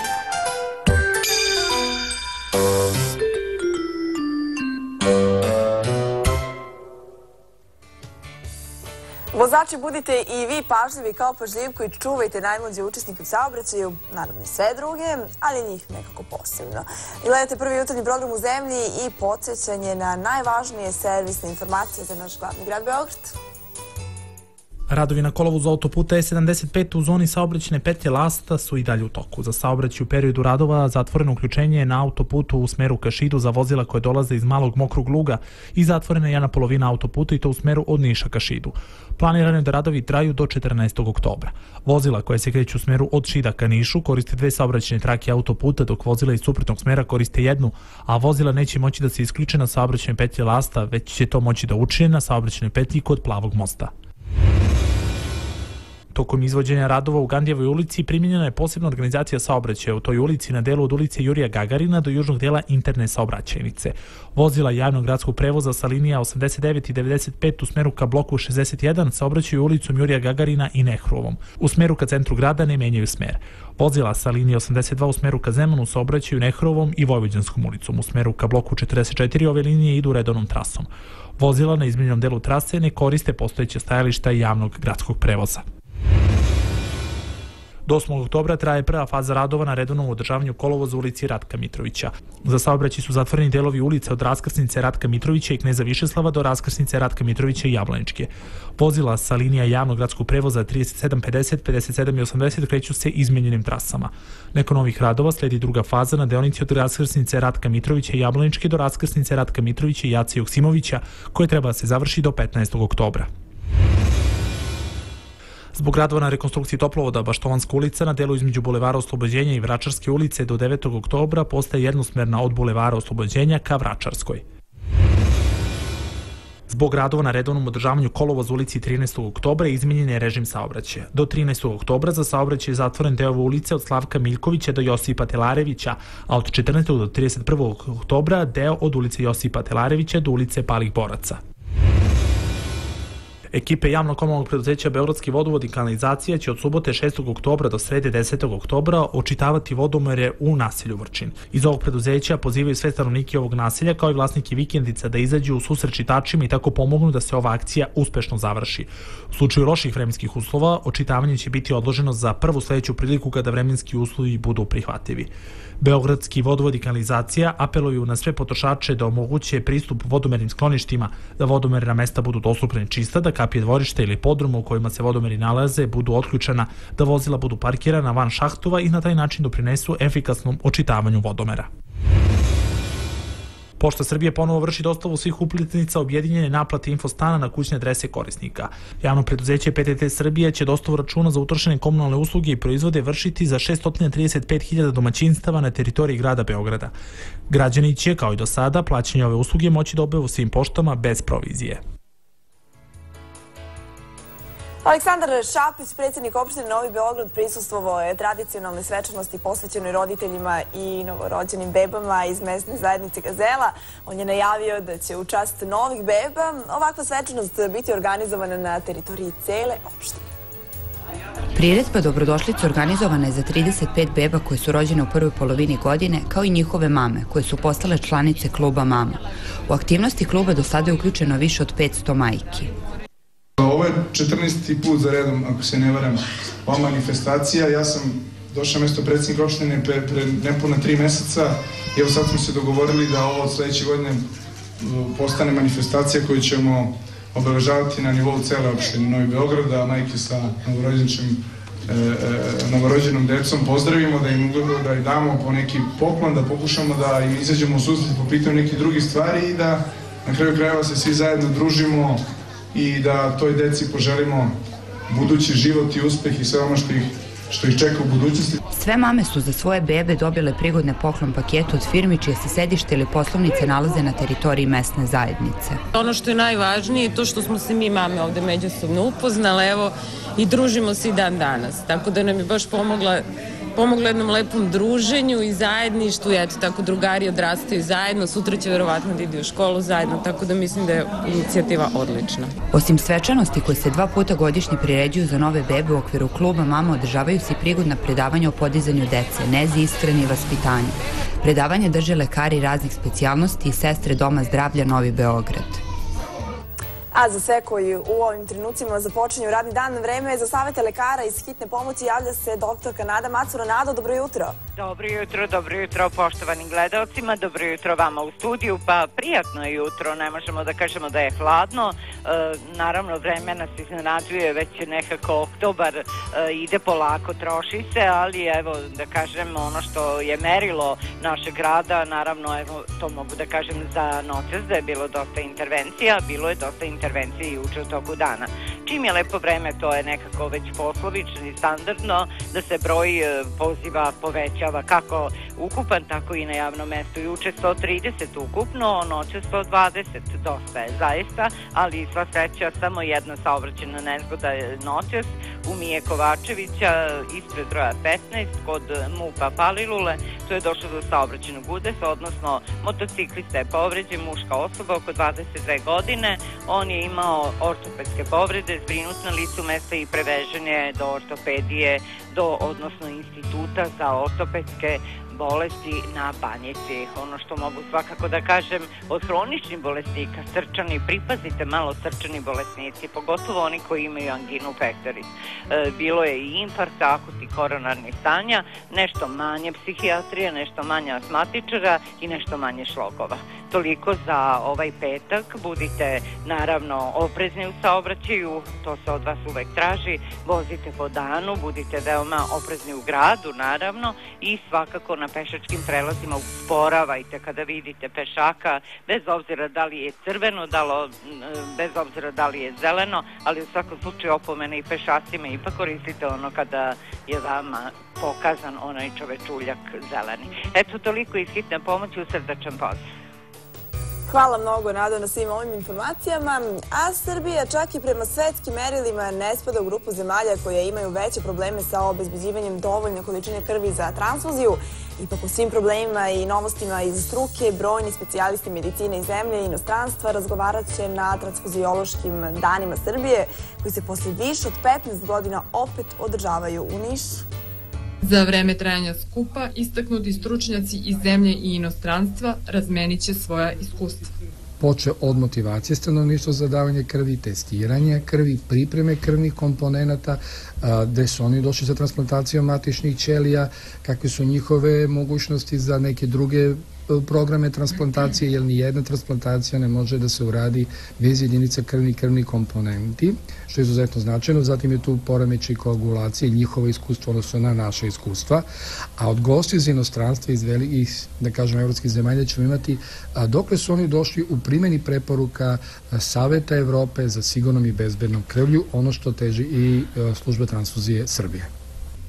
Na skupu transfuziologa Srbije biće predstavljene i brojne nove metode u ovoj grani medicine. Profesor Jovan Antović, dakle iz Karolinske bolnice iz Švedske, koji će prikazati najnovije iskustva u e, oblasti hemostaze, zatim načelnik službe transfuzija Češke, vojne transfuzije Češke, koji će prikazati neke nove metode pripreme krvnih komponenata, zatim e, profesor iz Innsbrucka koji će pokazati i prikazati nam neke nove tehnologije u transfuziji koje se odnose na primjenu aditivnih rastvora koji poboljšavaju kvalitet čuvanja produkata krvi. Srbija je prema merilima Svetske zdravstvene organizacije u grupi zemalja koje zadovoljavaju potrebe za transfuzijom krvi. Na godišnjem nivou u našoj zemlji ima oko 240.000 davaoca, a Niš je sa 4% po broju davanja na sredini skale u Srbiji.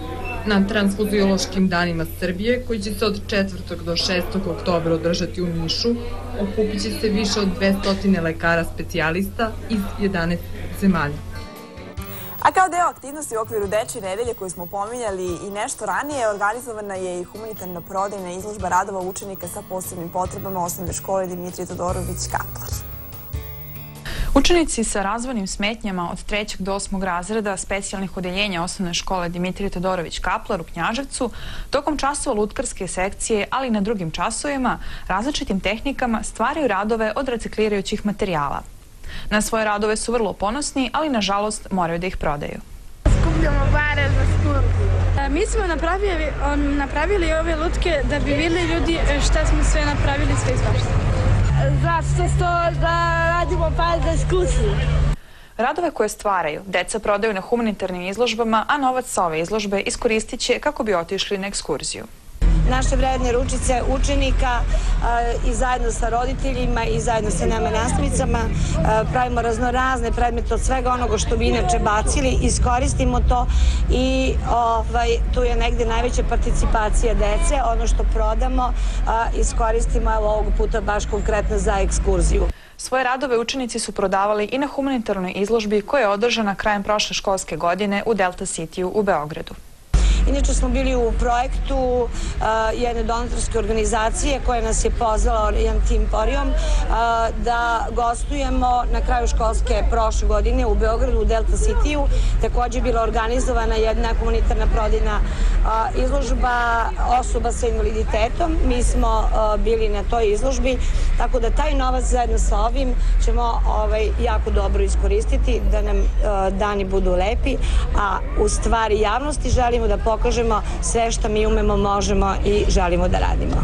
Ove godine Dečja nedelja održava se kao deo šire nacionalne kampanje pod nazivom Bolji smo zajedno, a posebna pažnja posvećuje se inkluziji i promociji prava dece sa smetnjama u psihofizičkom razvoju. Idemo sada malo do planine, idemo na Zlatibor. Tamo će 6. oktobra biti organizovana biciklistička tura biciklom po Zlatiboru u kojoj će učestvovati i predstavnici diplomatskog kora i naši poznati biciklisti i rekreativci predvođeni stalnim koordinatorom Ujedinjenih nacija Vilijamom Infanteom. To je još jedna akcija kojom se promovišu turizam i biciklizam u našoj zemlji kao i razvoj sela. Tura će biti dugačka 40 km, a tom prilikom će se promovisati staza na Torniku za sve ljubitelje planinskog biciklizma. Biciklisti će krenuti sutra rano ujutru iz centra Zlatibora, odakle će preko naselja Obudojevice doći do centra Semegnjeva gde će biti pauza, a zatim će se vratiti istim putem. Skijališta su poručila svima koje žele da se pridruže, da mogu da koriste bilo koji bicikl uz obaveznu kaciku. To su baš naglasili. E, na Zlatiboru za vikend nisu najavljene padavine, pa će biciklisti i šetači sigurno uživati u svemu što ova planina ima da ponudi. A evo informacija koje nudimo kao najvažnije servisne informacije za ovaj 5. oktobar. Novi tender za elektronski sistem naplate koji će putnicima olakšati plaćanje autobuske karte, a rasteretiti vozače, gradski prevoznik Novog Sada će raspisati tek pošto dobije saglasnost gradskog veća. U iščekivanju tog modernog načina plaćanja prevoza, stare međumesne karte su poskupele. Dnevne pojedinačne i pretplatne karte za putnike iz naselja opština Sremski Karlovci, Beočin i Žabalj korigovane su od oktobra za 6,6 do 17 odsto. Poskupljenje karata u gradskim i prigradskim autobusima za sada neće biti dok zahtev gradskog prevoznika o promjeni cena ne prihvati gradska uprava. Tokom predstojeće grejne sezone u Novom Sadu potrošači po stanovima će grejanje plaćati prema dosadašnjem načinu obračuna, odnosno po kvadratnom metru stambene površine. Prelazak na naplatu prema utrošku mogao bi da počne 2013. Kada gradsko veće usvoji odgovarajuću prateću dokumentaciju i kada u tom pogledu budu ispunjeni svi zakonski i tehnički uslovi, Novosadska toplana će početi primjenu novog sistema naplate stambenim potrošačima.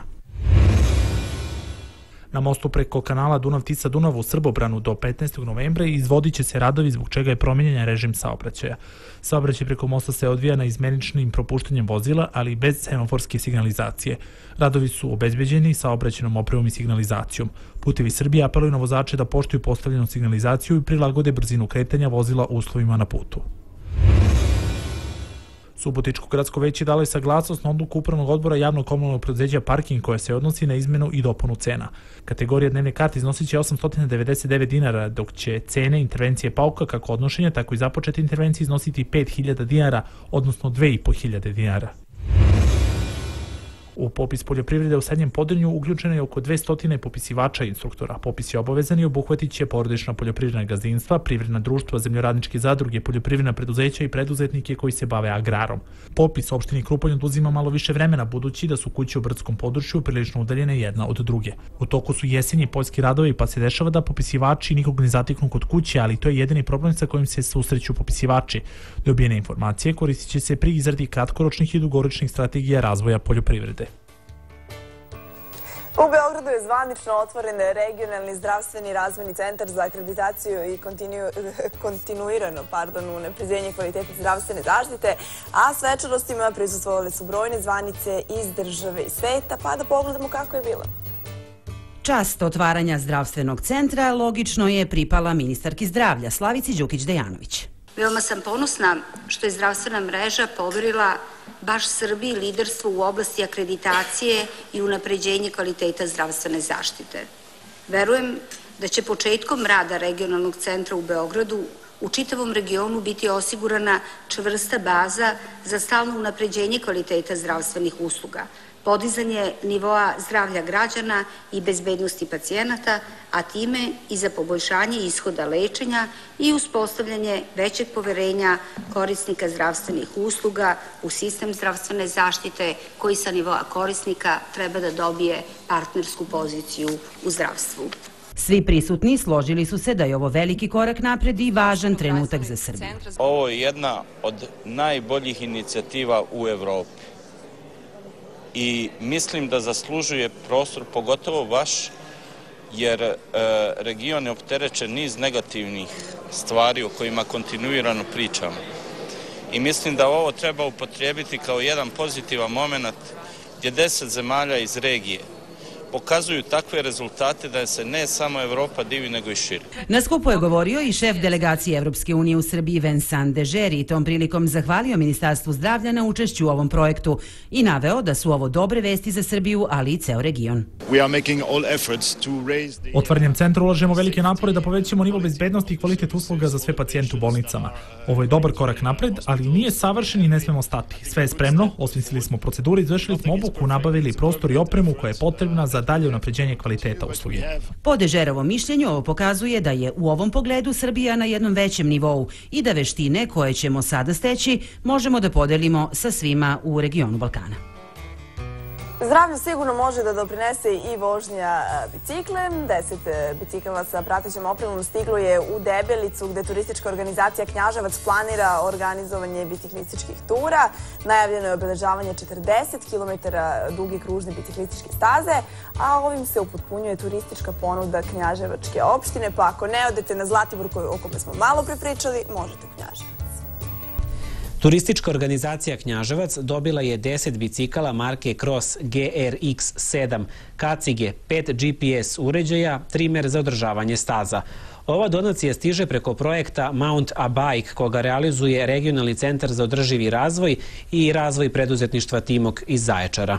Pitanje je e, projekat prekogranične saradnje koji se e, finansira u okviru IPA e, programa prekogranične saradnje Bugarska-Srbija.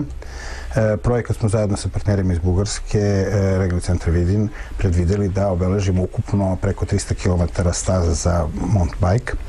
I iz samog projekta je predviđena staza koja polazi od e, Boljevca, završava se do Novog Korita, ali u dogovoru sa turističkom organizacijom Knjaževac smo odlučili da obeležimo i dodatnu stazu koja bi prošla i kroz Debelicu, pa do Manjenca preko Ravnog, Bučija i tako dalje, sve, sve do Knjaževca. Bicikli i oprema stigli su u Debelicu gde turistička organizacija Knjaževca u zgradi škole formira centar za paragliding. Pored toga teži se razvoju aktivnog odmora.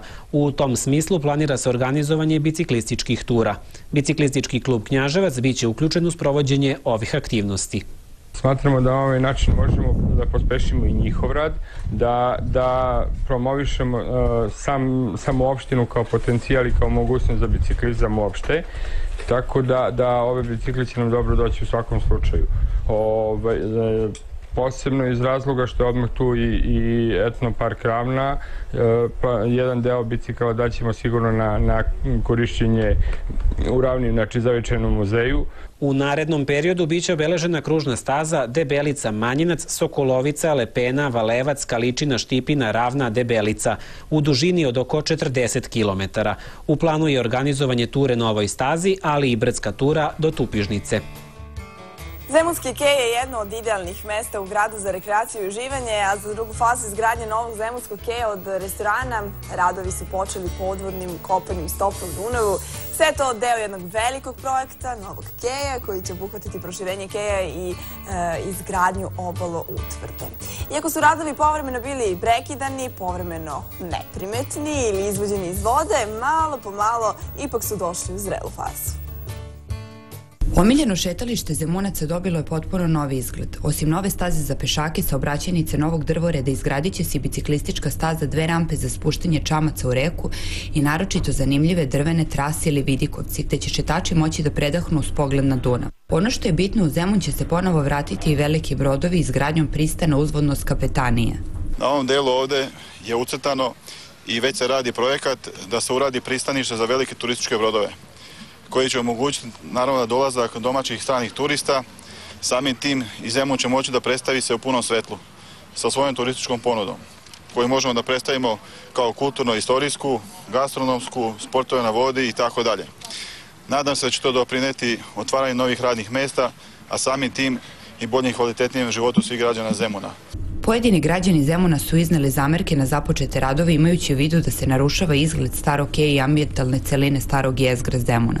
Tako se po njima bez ikakve javne rasprave i stručne analize nastavlja s uništavanjem obolutvrdne Zemunskog keja izgrađene 1889. godine po projektu inženjera Dragutina Kapusa, a posljednji put dograđene 30. godina prošlog veka napravljene od prirodnog kamena, kao skladne veze grada i reke koja do današnjeg dana nije pretrpela nikakva ozbiljnija oštećenja. Srbija nam može biti i lepša i bolja i to samo ako se mi potrudimo. Zapravo, lepo je i dobro i ovako. Možda najvrednije što imamo jesu sjajni klinci i to u svim delovima naše zemlje. Oni su dobri, talentovani i lepi i to je ono što uvek treba podržati. Ekipa emisije Moja Srbija upoznala je ovih dana baš takve klince, odnosno klinceze i vreme je da vam ih predstavim. Vam stiče priča o kojoj ćete uživati svim srcem, zato ostanite u srećnu televiziju posle reklama.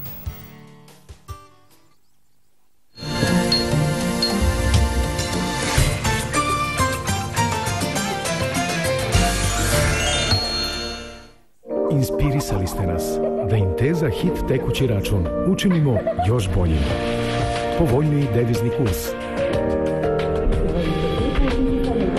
Unapređeno internet bankarstvo. Inteza mobil i za Android i iPhone i još dve kreditne kartice bez članarine. Hit inspirisan vašim željama. Banka Inteza.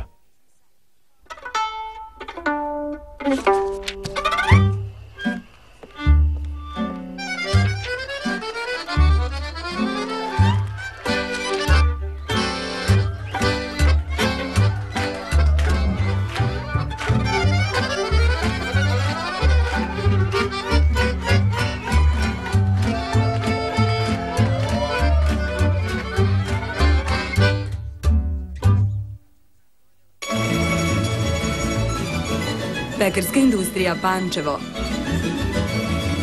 Sve vrste najkvalitetnijeg svežeg hleba i peciva.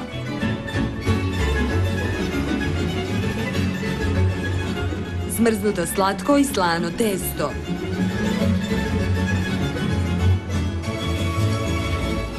Pekara sa tradicijom. Pekarska industrija, Pančevo.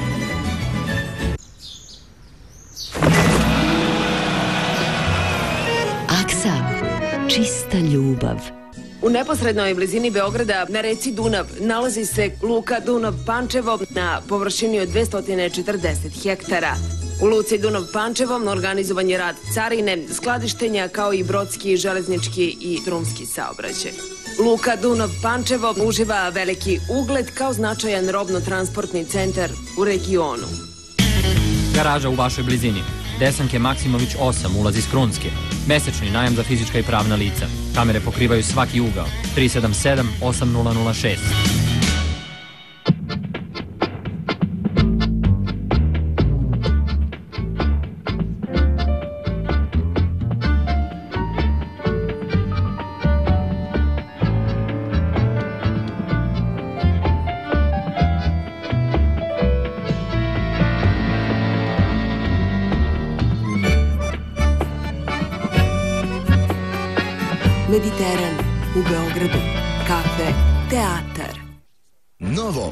starom dobrom Brankodeksu nova kolekcija za stare kupce. Svi proizvodi 60% popusta. Samo do kraja meseca. Nosiš sad, platiš za 120 dana. To može samo Brankodeks i novi Brankodeks na Banovom brdu. Požeška 148. Kakav kečap najviše volite? Ja volim kad je ukusan. Baš takav ste tražili. Novi Vital Tomato Ketchup. Vrlo paradajzičan. Iz brenda Srce prirode stiže nam zlatna maka. 100% čist gelatizirani prah korena peruanske make, organski proizvod i prava blagodet za naše zdravlje. Menopauza, andropauza, hronični umor, nervoza, depresija, anksioznost, poremećaj sna, PMS, nedostatak seksualne želje, impotencija, samo su neki od simptoma poremećenog rada našeg hormonalnog sistema. Priroda nudi rešenje. Zlatna maka za vaše zdravlje i vašu mladost.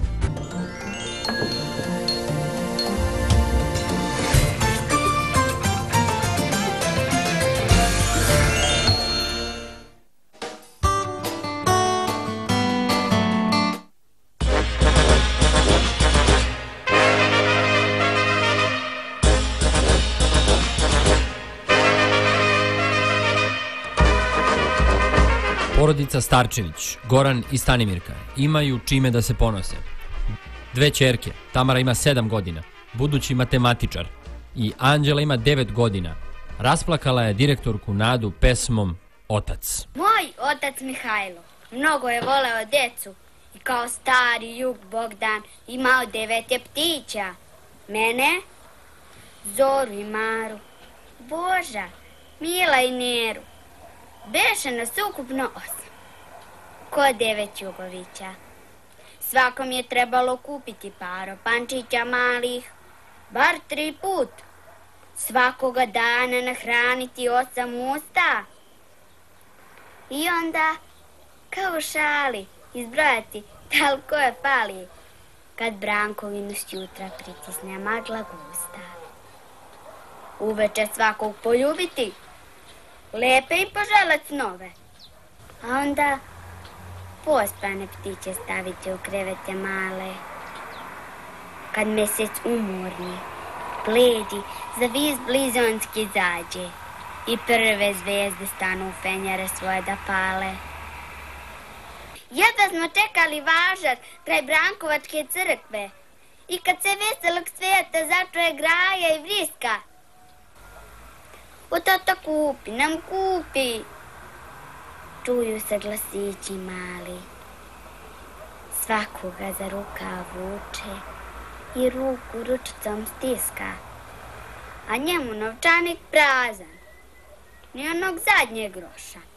Ali njemu je srce puno, jer mi smo njegova dika. Ali kad nam stasaju ptići, imaće on svog lekara i svog učitelja a Bog me i pesnika.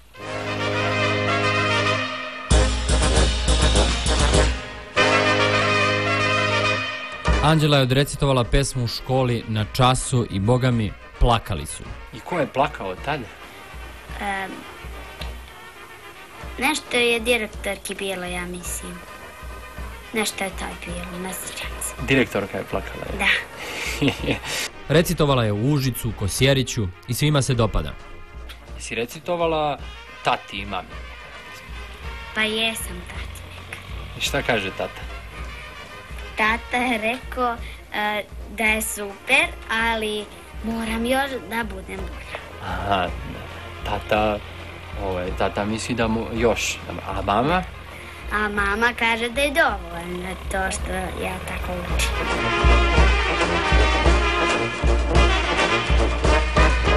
Voli da recituje, ali od predmeta najviše voli matematiku. Kad ovako dobro recituješ, kako onda dobro radiš matematiku, onda verovatno matematiku fantastično. Pa kad me učitelj spremi, ja moram da učim pesmicu i posle mi on kaže kako ja da recitujem. Tamara ima 7 godina i isto voli Matematiku. Matematiku. Ideš ovde u, u ravni u školu, je tako? Baš matematiku. znači, dobro ti ide. Pa, Do, dobro, znači, voliš, učiš i kod kuće. Da. Ovaj, kaži mi, jel ideš u školu peške ili, ili sa sestrom zajedno ili... pa nekad ili... idemo peške, nekad nas voze. E tako se postaje čovek.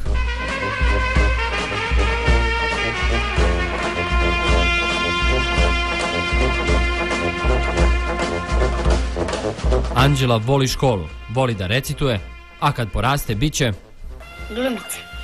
A glumica? očigledno. A koja ti se glumica najviše sviđa? Sada. Imaš neku glumicu? Ne, Ti ćeš biti ta glumica. jeste. Tamara, šta bi ti volila da budeš kad porasteš? Pa, učiteljica. Učiteljica? Što je, bi voljela nekome da preneseš ono što znaš? Samo se radom postaje čovek, ali i ako se ne zaboravi, rodno mesto. Jel nećete nikada da zaboravite odakle ste i ovo selo vaše ovde? Ne, ne. Jel obećavate? Da, da. Pilot prođog sokakom kroz selo Obuko sam najlepše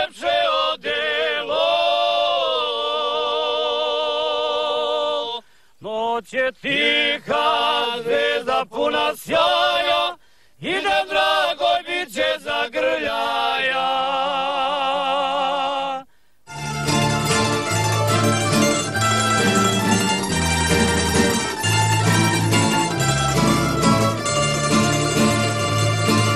Šta dodati, sve je suvišno. Borba za život.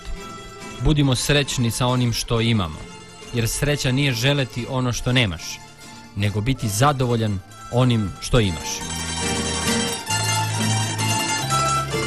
Moja Srbija. Ravni.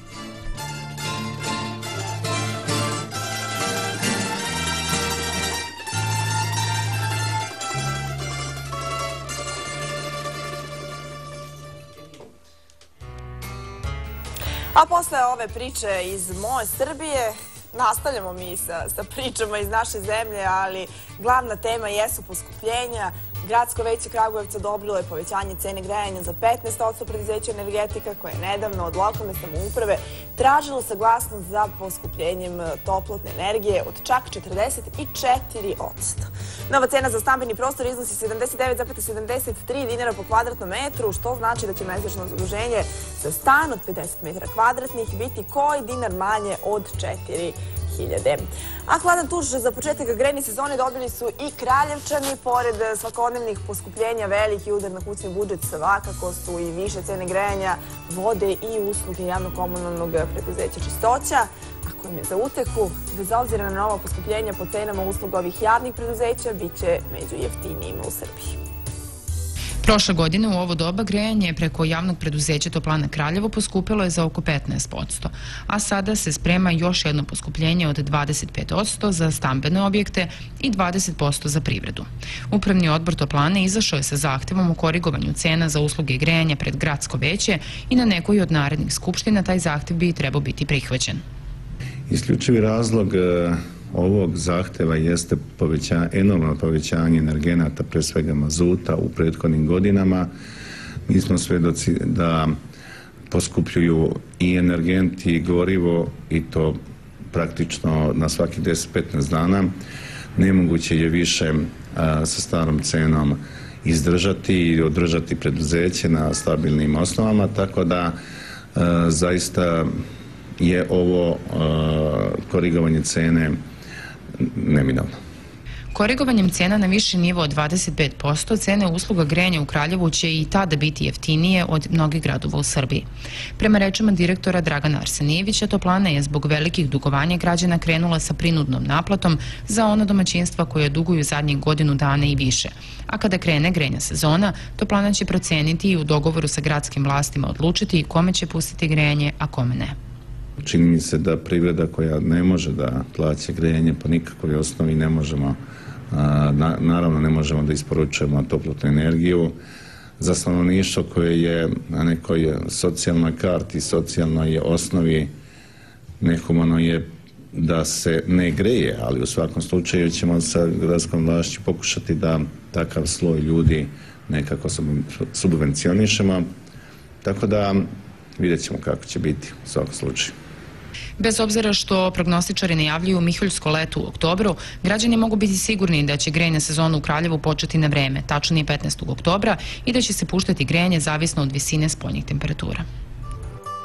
A odlukom Gradske skupštine u Kruševcu cena vode i kanalizacije veća je za 17,28%, dok su cene ostalih usluga javnog komunalnog preduzeća Vodovod Kruševac uvećane za 15%. To je potvrdio direktor ovog javnog preduzeća Slobodan Lazić. A prema novom cenovniku cene vode po kubiku iznosit će 49,56 dinara, odnosno 10 dinara manje za korisnike koji nemaju kanalizaciju. Nove cene vode i kanalizacije primenjivaće se od 1. septembra, to je primenjuju se već, a za ostale usluge primjena je počela od 1. oktobra. A još danas traje raspodela sredstava za nabavku ogreva građanima Knjaževca. Da vidimo o čemu se radi. Isplata novca građanima za nabavku ogreva je počela. Pravo na pomoć po kriterijumima Centra za socijalni rad ostvarilo je 700 porodica iz Knjažeca. Njima se isplaćuje po 5000 dinara, što je dovoljno za 2 kubna metra ogrevnog drveta. Ovakva pomoć ranih godina stizala je iz donacija ministarstva, ali je ove godine ukinuta.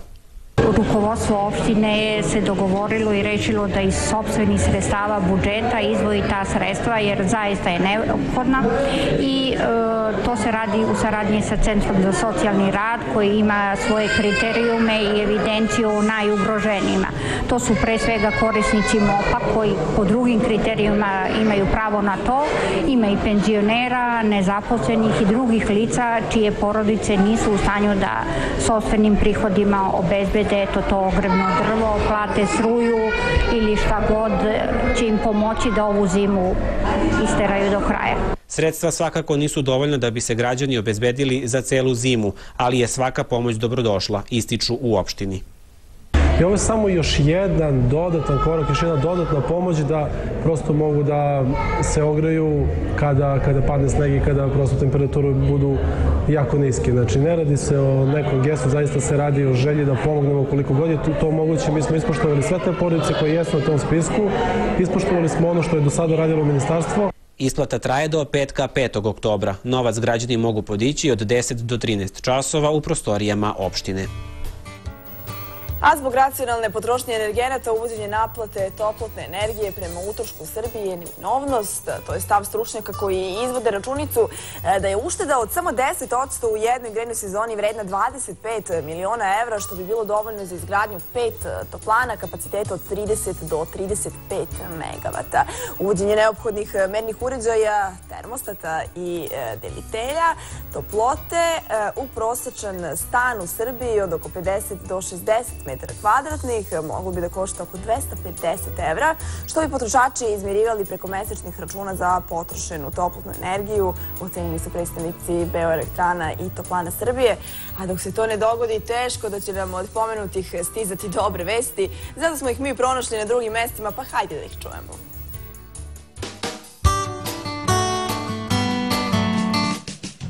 Čak 49 kragujevačkih osnovaca i srednjoškolaca ove godine osvojilo je neko od prva tri mesta na republičkim takmičenjima.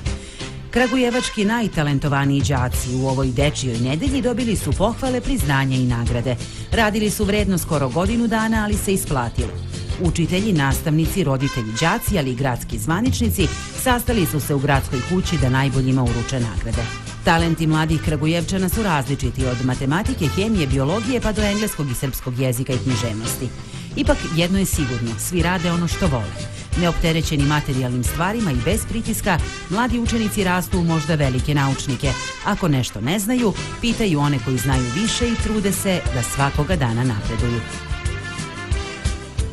U Leskovcu je otvorena dvodnevna konferencija arheologa i istoričara iz desetak zemalja povodom veka od iskopavanja arheološkog lokaliteta Justinijana Prima, poznatije kao Caričin grad. Pored srpskih, skupu u Narodnom muzeju pod nazivom Rano Vizantijski grad i društvo prisustvuju i vizantolozi iz Amerike, Španije, Nemačke, Grčke, Rumunije, Kipra, Mađarske i Slovenije. Centralna tema je Caričin grad, njegovo mesto i uloga u rano vizantijskoj civilizaciji. Iskopavanje na Caričinom gradu započeo je pre 100 godina Vladimir Petković, koji je šokirao javnost tvrdnjom da se radi o gradu koji je u blizini svog rodnog mesta sagradio rimski imperator Justinijan I. To otkriće i danas u pojedinim naučnim krugovima se osporava, jer još nije pronađena ploča sa imenom grada. Caričin grad podignut je 535. godine nove ere, a napušten 80 godina kasnije. Opšta bolnica dr. Aleksa Savić obezbedila je iz Vrnjačke banje tonu i popeloida, to jest lekovitog blata za fizikalnu službu. Reč je o godišnjim potrebama ove službe koja pruža sve tretmane koji se koriste u banjskom lečenju. Blato se dobije u vidu zrna kao tifozelin i u vidu praha zeolit. Obično se koristi u banjama, ali ga zbog odličnog zdravstvenog efekta opšta bolnica koristi već godinama. Opština Vlasotince je uz pomoć sredstava iz programa P-Build uvela sistem video nadzora najprometnijih mesta kako bi povećala bezbednost građana i njihove imovine. Pripadnici policije u Vlasotincu 24 sata imaju uvid u sve što se dešava na glavnoj ulici u dužini od skoro jednog kilometra. Video nadzor na ulicama gradova u Srbiji deo je projekta Siguran život u bezbednom gradu, koji je u Vlasotincu sa oko milion dinara podržao program P-Build. Opština Vlasotince je sistem videonadzora prepoznala kao najpotrebniji, jer se njime povećava bezbednost velikog broja ljudi.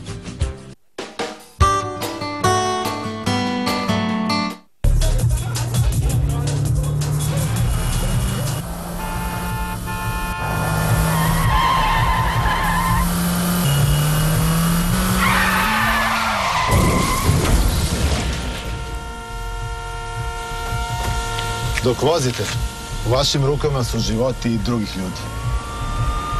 Smanjite brzinu, poštujte propise, poštujte život. Za dobro svih nas, Agencija za bezbednost saobraćaja. Stanje na putevima u Republici je u ovom trenutku verovatno zadovoljavajuće jer je za gužve malo rano, ali danas je petak, a petkom nam u saobraćaju treba i više strpljenja i više pažnje. Vreme je za izvrštaj informativnog centra Automoto Saveza Srbije. Dobro jutro! Jutro iz operativnog centra Automoto Saveza Srbije. Saobraćaj na najfrekventnijim putnim pravcima umerenog intenziteta zbog predstojećeg vikenda pojačan saobraćaj očekuje se u prvim popodnevnim časovima, Stoga svim vozačima savjetujemo da brzinu kretanja prilagode datim uslovima na putu i što je najbitnije da poštuju postavljenu saobraćenu signalizaciju jer se na mnogim deonicama izvode radovi. Na Beogradskoj obilaznici saobraćaj se obavlja bez zastoja pa je treba koristiti jer se na autoputu kroz Beograd intenzivno radi. Počeli su radovi na rekonstrukciji nadvožnjaka iznad saobraćenice T6 Petlja Zmaj. Saobraćaj, za saobraćaj je zatvorena kolovozna traka od Bežanijske kose prema Novosadskom autoputu u dužini od 300 metara. Za vreme ovih radova biće zatvoreno uključenje na autoput u smeru ka Beogradu i Nišu iz pravca Zemuna. Isključenje sa autoputa iz smera Beograda ka carinskim terminalima i Bežanijskoj kosi, pa se vozila upućuju do petlje Ikarbus, a zatvoreno je isključenje sa autoputa iz smera Šida ka Zemunu, odnosno Novom Sadu, pa se vozila upućuju na petlju Tošin Bunar. Usporen je saobraćaj u smeru ka Novom Beogradu od Dušanovca ka autokomandi u dužini od 1100 metara, kao i na deonici autoputa kod Laste, gde se radi u dužini od 2 km, pa je, pa je za saobraćaj zatvoreno uključenje na autoput u smeru ka Novom Beogradu, kao i isključenje sa autoputa iz pravca Niša. Počeli su radovi na mostu preko kanala Dunav-Tisa-Dunav u Srbobranu. Radovi će trajati do 15. novembra, a do tada će se saobraćaj obavljati usporeno uz neizmenično propuštanje vozila. Na graničnim prelazima trenutno nema dužih zadržavanja za putnička vozila, a prema informacijama Republikskog MUPA prethodnog dana na putima u Srbiji evidentirano je 100 nezgoda. 39 lica je povređeno, dve osobe su nažalost izgubile život. Usrećen put vozačima i savjet oprezno, toliko za ovo uključenje iz Automoto Saveza Srbije. Hvala mnogo na ovim e, informacijama iz Automoto Saveza Srbije, a mi se posjećamo kako nas vreme očekuje danas i narednih dana. U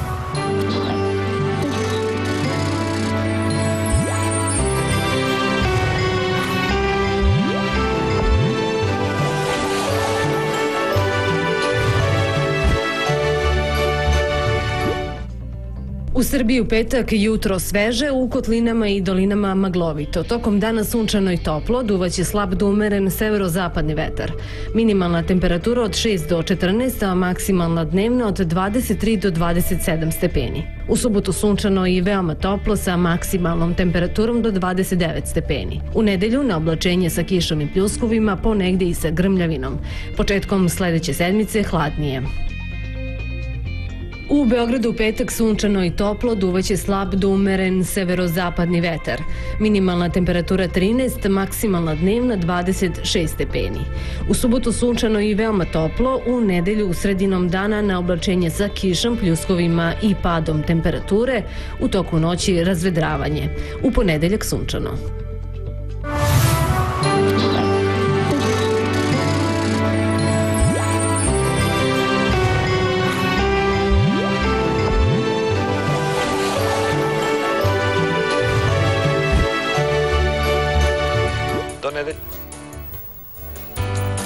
Vreme sa maksimalnom temperaturom u subotu u većini mesta Srbije i do 30 stepeni. U nedelju toku dana očekuje se promjena vremena u smislu pada temperature, lokalne pojave kiše ili pljuskova, tako da bi početak naredne sedmice bio znatno svežiji nego ovaj period koji je za nama.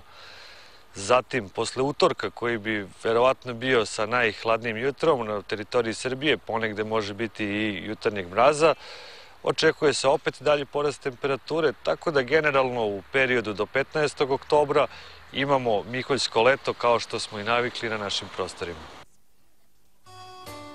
Lepo vreme uvek znači i bolje raspoloženje za volanom, a kada smo dobro raspoloženi onda lakše podnosimo i jutarnji špic petkom. On je, on još uvek, e, ja mislim da nije počeo, ali za vozače ranoranioce stiže prvi izveštaj sa Beogradskih saobraćajnica. Idemo do NBA taksija. Dobro jutro. Dobro jutro.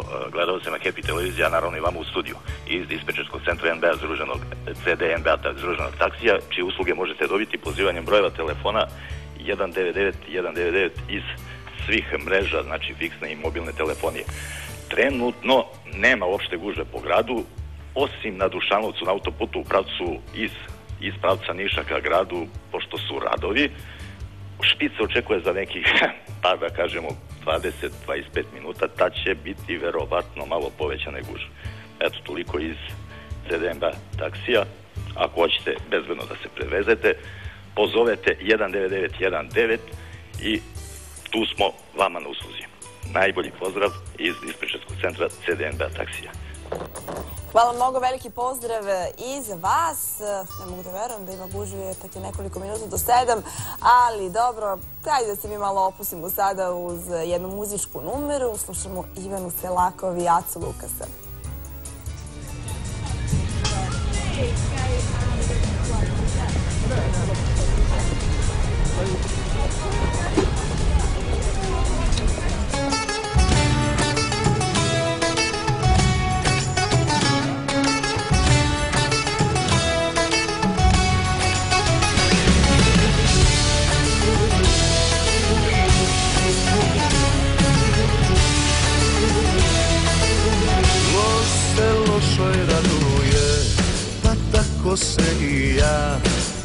Tugujem do bola. Pravo u leđa jednom si srce pogodila Ali još živi na pola A takvih svuda ima na ovim dokovima Najboljim bokovima Ali Za tebe života ću Kroz prste progledat ću Da te još jednom zagrim A noćas daleko si, daleko si Neko te drugi ima Daleko si, daleko si Prava sa pogrešnima Daleko si, daleko si I nek te nadnu čaše progledat će Daleko si, daleko si Neko te drugi ima Daleko si, daleko si Prava sa pogrešnima Daleko si, daleko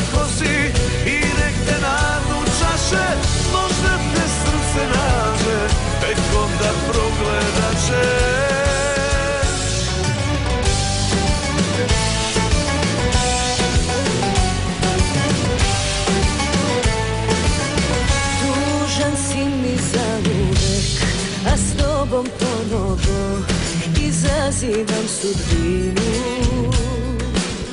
Ući ćeš u zagrljaj, jer volim tvoju laž, više nego istinu. U senci tvoga srca, još uvek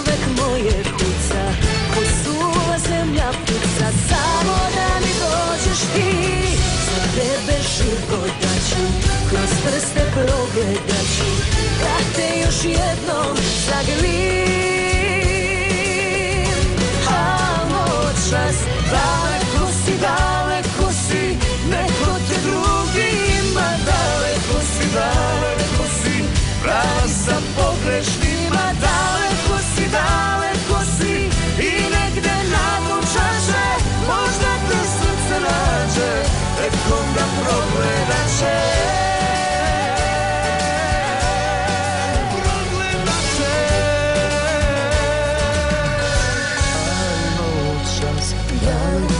Daleko si, Neko te drugi ima Daleko si, daleko si Prava sa pogrešnima Daleko si, daleko si I negde na dnu čaše Možda te srce nađe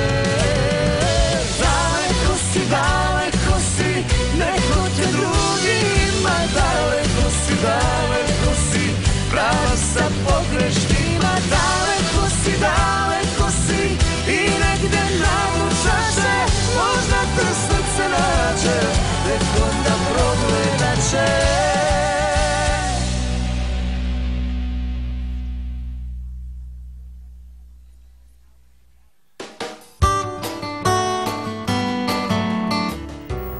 Prema najavi meteorologa u Beogradu i većini krajeva Srbije do polovine oktobra nas očekuje uglavnom sunčano i toplo vreme za ovo doba godine sa najvišim dnevnim temperaturama koje se neće spuštati ispod 18 stepeni. A šta nas očekuje u Beogradu danas saznajte u gradskom servisu. Radovi na kolovu autoputa E75 u zoni saobraćene petlje Lasta su i dalje u toku. Za saobraćaj u periodu radova zatvoreno uključenje je na autoputu u smeru ka Šidu za vozila koje dolaze iz malog mokrog luga i zatvorena je jedna polovina autoputa i to u smeru od Niša ka Šidu. Planirano je da radovi traju do 14. oktobra. Vozila koje se kreću u smeru od Šida ka Nišu koriste dve saobraćene trake autoputa, dok vozila iz suprotnog smera koriste jednu, a vozila neće moći da se isključe na saobraćenoj petlji Lasta, već će to moći da učine na saobraćenoj petlji kod Plavog mosta. Tokom izvođenja radova u Gandijevoj ulici primjenjena je posebna organizacija saobraćaja u toj ulici na delu od ulice Jurija Gagarina do južnog dela interne saobraćajnice. Vozila javnog gradskog prevoza sa linija 89 i 95 u smeru ka bloku 61 saobraćaju ulicom Jurija Gagarina i Nehruovom. U smeru ka centru grada ne menjaju smer. Vozila sa linije 82 u smeru ka Zemunu saobraćaju Nehrovom i Vojvođanskom ulicom. U smeru ka bloku 44 ove linije idu redovnom trasom. Vozila na izmenjenom delu trase ne koriste postojeće stajališta javnog gradskog prevoza. Do 8. oktobra traje prva faza radova na redovnom održavanju kolovoza u ulici Ratka Mitrovića. Za saobraćaj su zatvoreni delovi ulice od raskrsnice Ratka Mitrovića i Kneza Višeslava do raskrsnice Ratka Mitrovića i Jablaničke.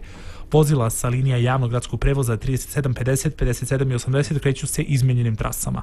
Neko novih radova sledi druga faza na deonici od raskrsnice Ratka Mitrovića i Jablaničke do raskrsnice Ratka Mitrovića i Jaci Joksimovića, koje treba da se završi do 15. oktobra. Zbog radova na rekonstrukciji toplovoda Baštovanska ulica na delu između Bulevara Oslobođenja i Vračarske ulice do 9. oktobra postaje jednosmerna od Bulevara Oslobođenja ka Vračarskoj. Zbog radova na redovnom održavanju kolovoza ulici 13. oktobra izmenjen je režim saobraćaja. Do 13. oktobra za saobraćaj je zatvoren deo ulice od Slavka Miljkovića do Josipa Telarevića, a od 14. do 31. oktobra deo od ulice Josipa Telarevića do ulice Palih Boraca. Ekipe javnog komunalnog preduzeća Beogradski vodovod i kanalizacija će od subote 6. oktobra do srede 10. oktobra očitavati vodomere u naselju Vrčin. Iz ovog preduzeća pozivaju sve stanovnike ovog naselja kao i vlasnike vikendica da izađu u susret čitačima i tako pomognu da se ova akcija uspešno završi. U slučaju loših vremenskih uslova, očitavanje će biti odloženo za prvu sledeću priliku kada vremenski uslovi budu prihvatljivi. Beogradski vodovod i kanalizacija apeluju na sve potrošače da omoguće pristup vodomernim skloništima, da vodomerna mesta budu dostupne čista, da kapije dvorišta ili podruma u kojima se vodomeri nalaze budu otključena, da vozila budu parkirana van šahtova i na taj način doprinesu efikasnom očitavanju vodomera. Pošta Srbije ponovo vrši dostavu svih upletnica objedinjene naplate infostana na kućne adrese korisnika. Javno preduzeće PTT Srbije će dostavu računa za utrošene komunalne usluge i proizvode vršiti za 635.000 domaćinstava na teritoriji grada Beograda. Građani će, kao i do sada, plaćanje ove usluge moći da u svim poštama bez provizije. Prema statističkim podacima, prosečna potrošačka korpa u Srbiji iznosi nešto više od 44.000 dinara, međutim, sugrađani se s tim podatkom baš i ne slažu. Oni kažu da se naročito u oktobru mesecu mnogo više novca daje za hranu, gorivo, ogrev i jesenju garderobu, sve potrebne stvari koje su neophodne za život, a statistika ih baš i ne obuhvata. Kada bi za odeću i obuću izdvajali onoliko koliko predviđa zvanična statistika, Beograđani bi jesam dočekali u kratkim rukavima. Za kupovinu garderobe prosječna potrošačka korpa četvoročlanom domaćinstvu mesečno ostavlja 2033 dinara. Tako je namenjeno neverovatnih 281 dinar za pantalone, sa koji košulje. Suknju, džemper i bluzu treba ukalkulisati u 175 dinara, dok je statistika prema kupovini jesenjih kaputa i mantila bila nešto izdašnija, 627 dinara. Kada dođe jesen, osnovni odevni predmeti koji su nam potrebni upravo ono što vidite na meni – jedan kaput, džemperić ili sako, u ovom slučaju ja sam izabrala sako, i pantalone. Cena ovog kaputa koji je na meni iznosi 13.990 dinara. Cena sakoa je 6.490 dinara i ove pantalone su 2.990.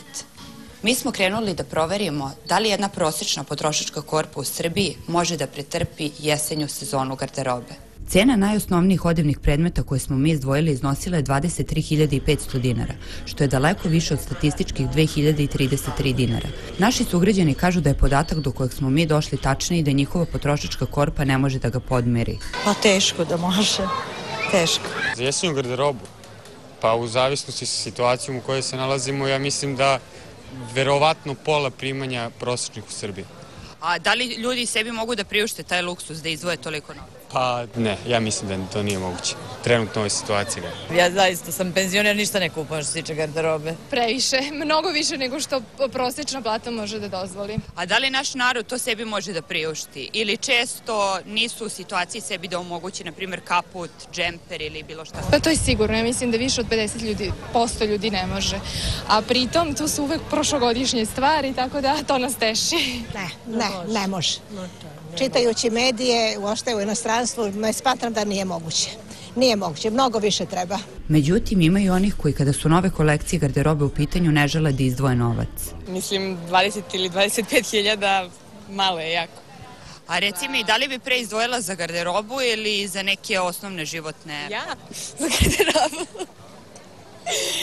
Znam ovaj, da to nije u redu, ali... Potrošačima jedino ostaje da istrpi još jedan udar na kućni budžet i odvoju u nekim slučajevima čak jednu trećinu mesečnih primanja, kako bi priuštili sebi kaput, džemper ili čizme u čemu bi mogli spremni da dočekaju zimu. Odlukom vlade Srbije, Republička direkcija za robne rezerve intervenisaće na tržištu prodajom dodatnih 3 miliona litara rafinisanog suncokretovog ulja. Pošto su proizvođači šećera najavili smanjenje cena, vlada nije donela odluku o ukidanju carina na uvozove namirnice. Ministar poljoprivrede Goran Knežević kaže da mere koje je vlada usvojila da će te mere omogućiti da proizvođači šećera vrate maloprodajne cene na nivo pre 1. oktobra. Cena ulja će u maloprodaji iznositi 142,56 dinara po litru i bit će vidno obeleženo kao ulje iz robnih rezervi. Šećerane su Noko i Teto Senta ranije u toku dana su najavili da će veleprodajne cene šećera ograničiti na 79 dinara po kilogramu. Maksimalna trgovačka marža na šećer je 10%, što znači da će šećer te dve šećerane u radnjima biti jeftiniji od onoga koji isporučuju državne robne rezerve po ceni od 95,05 dinara. Država je pokazala svoju snagu, država je pregovarala sa proizvođačima šećera, tako da će svi naši građani moći da kupuju šećer po maloprodajnoj ceni koja je bila pre 1. oktobra 2012. godine i e, u našim rafovima će biti dovoljno proizvoda. Vlada Srbije usvojila je uredbe kojima su duplirane subvencije u stočarskoj proizvodnji i povećana premija sa 5 na 7 dinara za litar mleka. Za umatičena grla vlada je predvidela subvenciju 25.000 dinara godišnje po grlu za pravne i fizička lica, za tov junadi 10.000 dinara i za tov svinja 1.000 dinara. To će sigurno u znatnoj meri ne samo da olakša i da malo ublaži ove mere posljedice suša, nego da će i u budućnosti da bude pravi posticaj za razvoj stočarske proizvodnje. Vlada je na sednici zadužila Ministarstvo financija da objavi javni poziv za pronalaženje strateškog partnera za Železaru Smederevo, kao i da sprovede postupak za pronalaženje strateškog partnera. A u sredu kiša koja je u Subotici padala svega 15 minuta poplavila je skoro čitav grad. Da ne verujete, 15 minuta, a velika poplava. Posljedice ove kiše vidljive su još uvek, pogotovo kod onih sugrađana koji nisu na vreme našli način da ispumpaju svu tu vodu koja se nakupila u podrumu.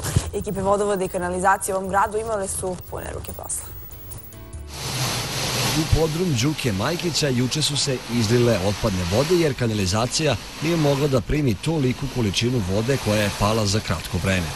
U podrumu je bilo 20 cm vode, što je bilo dovoljno da se uništi veliki broj arhivskog materijala firme, čiji je Đuka suvlasnik. Izbila je voda preko sanitarnog čvora, preko WC šolje, gore, i preko ovaj, odliva iz kuhinje. I evo vidite, napunilo se 15-20 cm Tamo smo bili spremili jedan deo arhive da odnesemo tamo u naše skladište koje inače ovaj imamo kod mene kući, ali ovaj nismo uspeli ni to, ali i ormani su bili dole. Mislim, nismo uspeli zato što nismo očekivali da će se ovo desiti. Ali. Prema podacima meteorološke stanice na Paliću, juče je u Subotici palo 14,1 litara kiše po kvadratnom metru. Tri cisterne i jedan kamion sa priličnom opremom javnog komunalnog poduzeća vodovod i kanalizacija bile su na terenu i po prioritetima ispumpavali vodu sa najkritičnijih mesta, dok su danas nastavili posao ispumpavanjem vode iz podruma.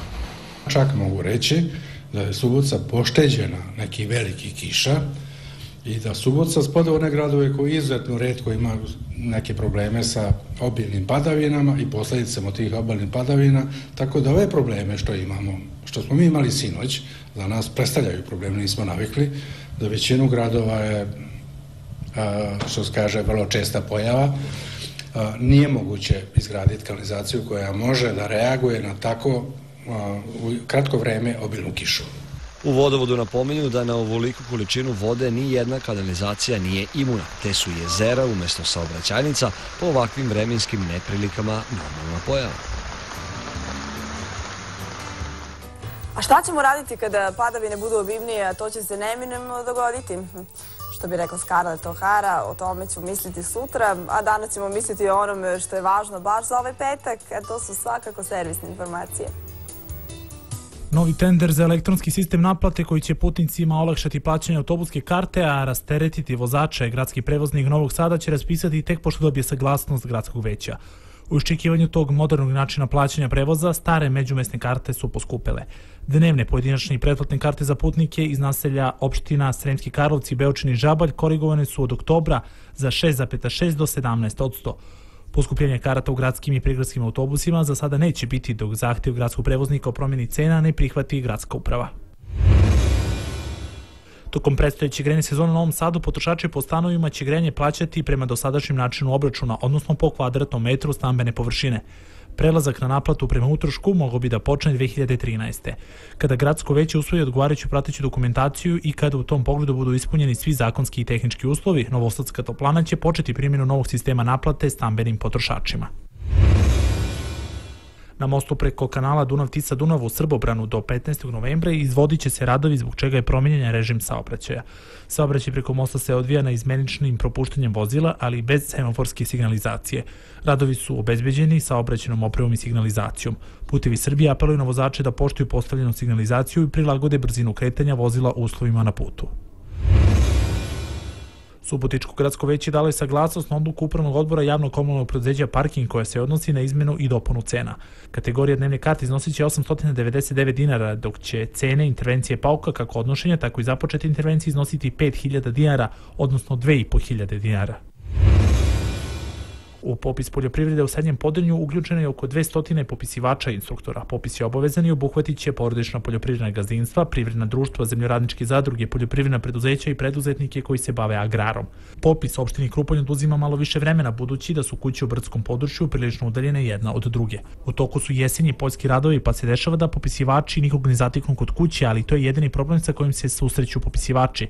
Dobijene informacije koristit će se pri izradi kratkoročnih i dugoročnih strategija razvoja poljoprivrede. Sada možemo da se podsjetimo kako nas vreme očekuje danas i narednih dana. Eto, svi pričaju o Miholjskom letu. Dakle, slojevito oblačenje, što bi rekla Nada Macaro.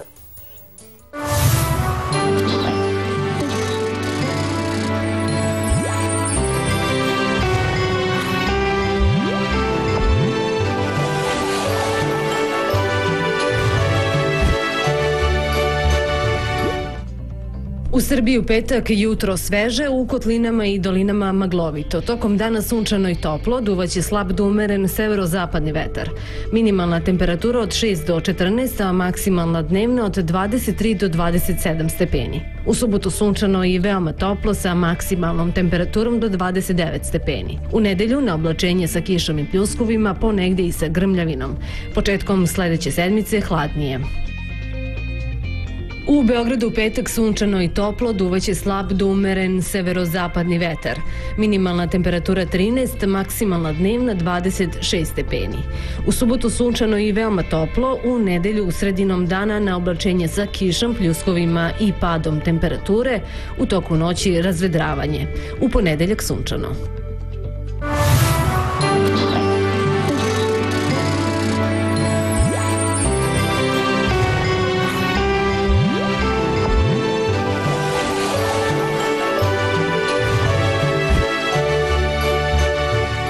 Nedelje zadržat će se prijatno, sunčano i toplo vreme sa maksimalnom temperaturom u subotu u većini mesta Srbije i do 30 stepeni. U nedelju toku dana očekuje se promjena vremena u smislu pada temperature, lokalne pojave kiše ili pljuskova, tako da bi početak naredne sedmice bio znatno svežiji nego ovaj period koji je za nama. Zatim, posle utorka koji bi verovatno bio sa najhladnijim jutrom na teritoriji Srbije, ponegde može biti i jutarnjeg mraza, očekuje se opet dalji porast temperature, tako da generalno u periodu do 15. oktobra imamo Miholjsko leto kao što smo i navikli na našim prostorima.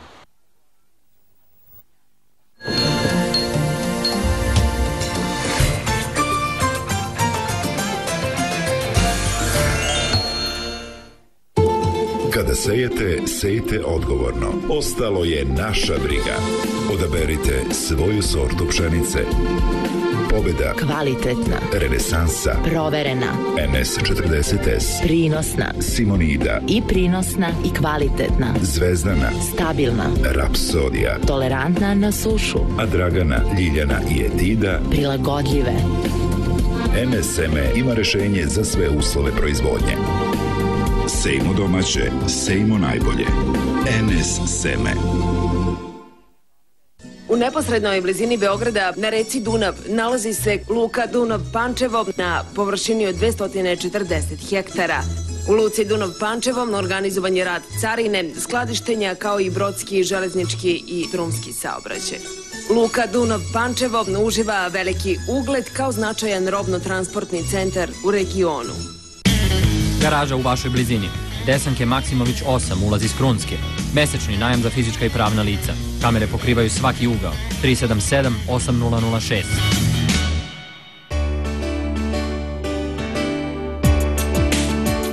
Kakav kečap najviše volite?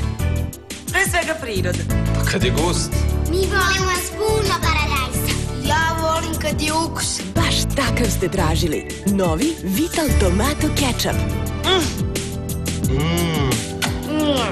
Vrlo paradajzičan. Kasino u Beogradu 1856. 1918. 1920. A od 1922. hotel kasina dobije izgled kakav danas znamo. Smešten u strogom centru grada preko puta čuvene terazijske česme. Mesto koje će vas osvojiti i kome ćete se stalno vraćati. U sklopu ovog hotela sa tri zvezdice nalazi se restoran sa specialitetima srpske i internacionalne kuhinje, letnja bašta, pekara pizzerija, restoran pivnica, internet kafe i dve banket sale. Kapacitet od pet apartmana i 80 savremeno opremljenih soba sa zadivljujućim pogledom na grad dovoljan je da ugosti i one sa najistančanijim ukusom. Posetite pravi dragulj u srcu Beograda, Terazije 25, Hotel Kasina.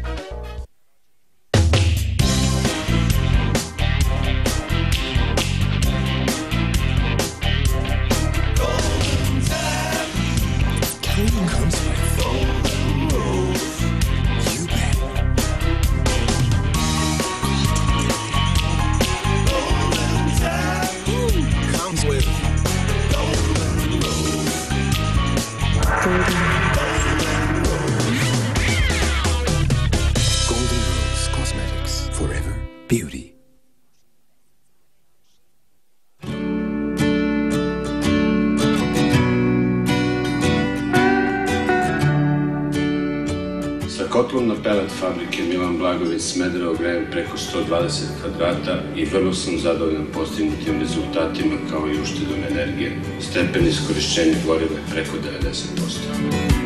Kotlo pruža potpunu konformnost i sigurnost grejanja automatskim upravljanjem i doziranjem goriva, dok prostor oko peći ostaje čist.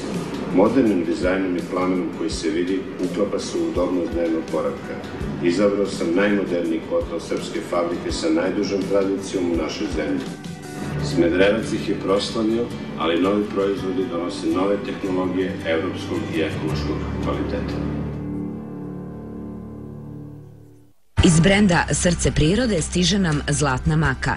100% čist gelatizirani prah korena peruanske make, organski proizvod i prava blagodet za naše zdravlje. Menopauza, andropauza, hronični umor, nervoza, depresija, anksioznost, poremećaj sna, PMS, nedostatak seksualne želje, impotencija, samo su neki od simptoma poremećenog rada našeg hormonalnog sistema. Priroda nudi rešenje. Zlatna maka za vaše zdravlje i vašu mladost.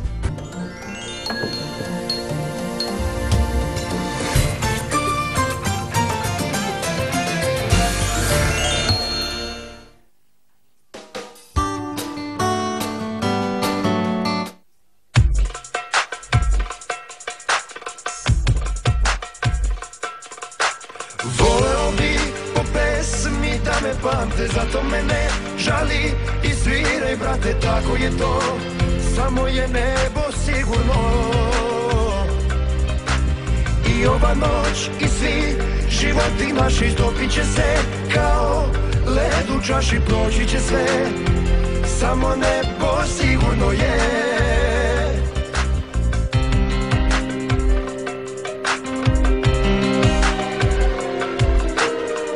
Prvo veče sedim tu bez nje Ko da čujem godine.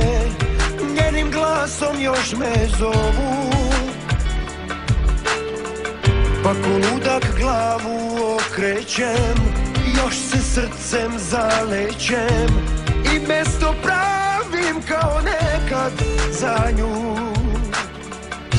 Sve je to tako trebalo Da volim ludo, bezumno U svemu da preterujem.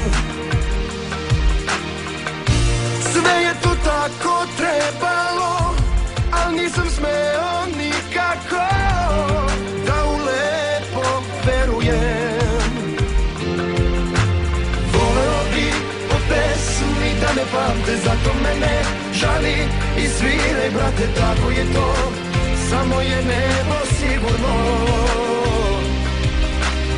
I ova noć i svi životi naši stopit će se Kao led u čaši proći će sve Samo nebo sigurno je.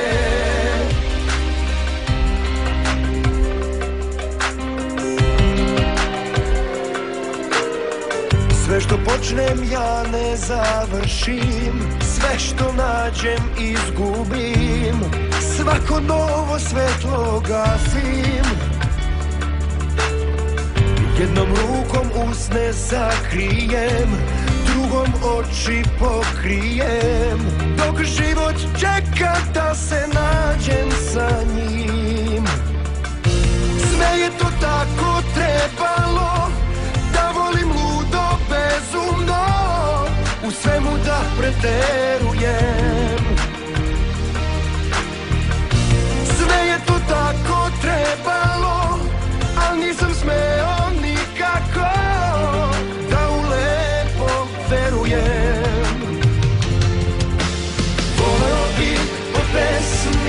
pamte Zato mene žali.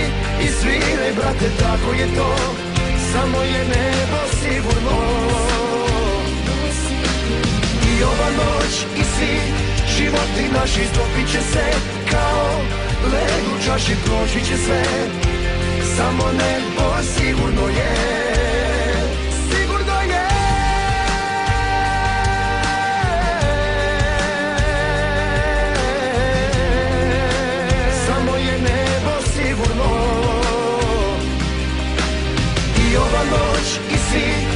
životi naši stopit će se Kao led. U čaši proći će sve. Samo nebo sigurno je.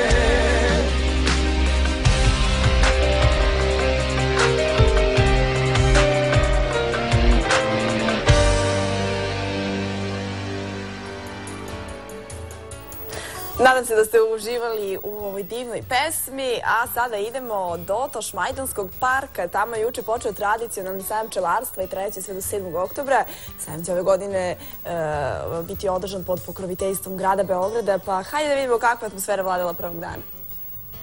Najbolji pčelari iz naše zemlje okupili su se na 38. sajmu pčelarstva u oazi prirode, renoviranom Tašmajdanskom parku u Beogradu. Na sajmu se predstavlja 120 izlagača meda i nešto više od 50 izlagača pčelarske opreme. Zoran Alimpić, zamenik predsjednika Skupštine grada Beograda, izjavio je da Beograd nije samo veliki potrošač meda i pčelinjih proizvoda, već i veoma zavidan proizvođač i pozvao sve sugrađane da posete ovaj sajam. Ovo je zaista jedno interesantno mesto i da se ljudi edukuju i da probaju, a i da kupe i da se snabdaju ovom najzdravijom hranom, najzdravijom namirnicom, a to je naravno med i, i ostali pčelinji proizvodi. Potpredsednik Društva pčelara Beograda Miroljub Buklić naglasio je da ova manifestacija nije samo najveće zborište pčelara Srbije, nego i Evrope. Najvažnije je doći, videti, upoznati se, pronaći svog medara, utvrditi odakle i u buduće od njega kupovati med. Jer to je jedina garancija da čovjek može da kupuje med pravi, a ne iz kućne radinosti od pravog pčelara. A pravi pčelari se nalaze ovde već 38 godina u Tašmajdanskom parku. Dobrivoje Jovanović pčelarstvom se bavi više od 30 godina i uvek jedva dočeka Tašmajdanski sajam pčelarstva. Od 88. godine svake godine sam redovni posetilac vašeg ovog Tašmajdanskog sajma meda. A dao nam je i jedan savet. Bolje koristiti med kao hranu da ga ne bi koristili sutra kao lek. To je izvor života svega. Znači, ako ga redovno upotrebljavaju, kao preventivu nema bolesti. Med je po kvalitetu, kažu, izuzetno dobar sa prostora Subotice kao i Vranja, ali i sa područja Beograda. A kako organizatori kažu, cena meda ove godine kreće se od 500 do 700 dinara za kilogram. Eto, čuli ste savete, dakle, pravac e, Tašmajdanski park i kupovina meda lek. Kažu, leči sve. A ako vam u subotu i nedelju ujutru destinacija ipak bude pijaca, mi smo se potrudili da saznate koliko će vam novca biti potrebno da biste kući doneli ono najpotrebnije.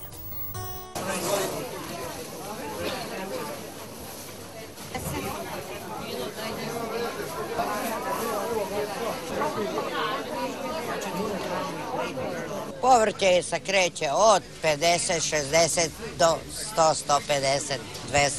A šta građani najviše kupuju sad u ovom periodu? Sad u ovom periodu najviše kupuju papriku.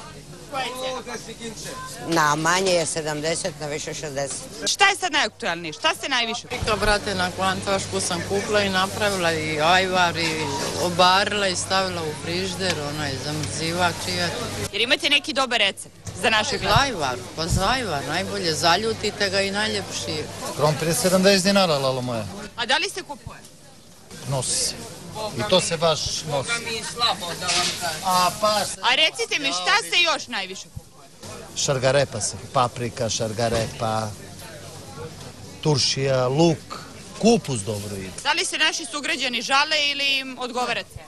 Ne, uopšte, to ide sve svojim tokom. Da li vam odgova- odgovaraju cene na pijaci? Zavisi kako kome. Boranija je recimo 150. Može.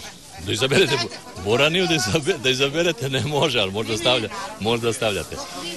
Razdeluk je veza 50 dinara, kupus 50 dinara, karfiol momentalno kod mene je 160, inače je 200 svuda. Koje vas još cene interesuje? Ljuta papričica je 5 dinara, cene su malo više nego što treba, ali to je sve doprinela suša. Sve isto, svaki dan isto, ne menjamo cene. A koja je cena kupusa? 50. Da li se prodaje? To je pomalo. Šta se najviše prodaje? Sve pomalo, malo praz, malo kupus, malo boran, sve pomalo. Nema narod pari, što bi kupili više nema pari. Čime privlačite svoje kupce? Osmehom. E tako. I inače ovako nema. Da im ubeđuješ da i lažeš ništa, samo ako si raspoložen i tako.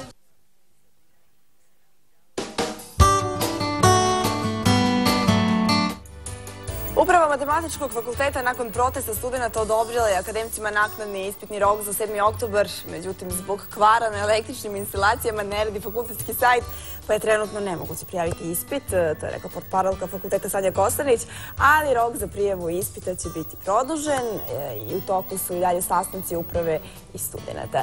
Da studenti su od ponedjeljka blokirali nastavu tražeći da im se odobri dodatni ispitni rok za koji su, kako tvrdi, do sada bili uskraćeni. A ako već izlazite na ispite, onda ne prepisujte. To je poruka studenta ekonomije.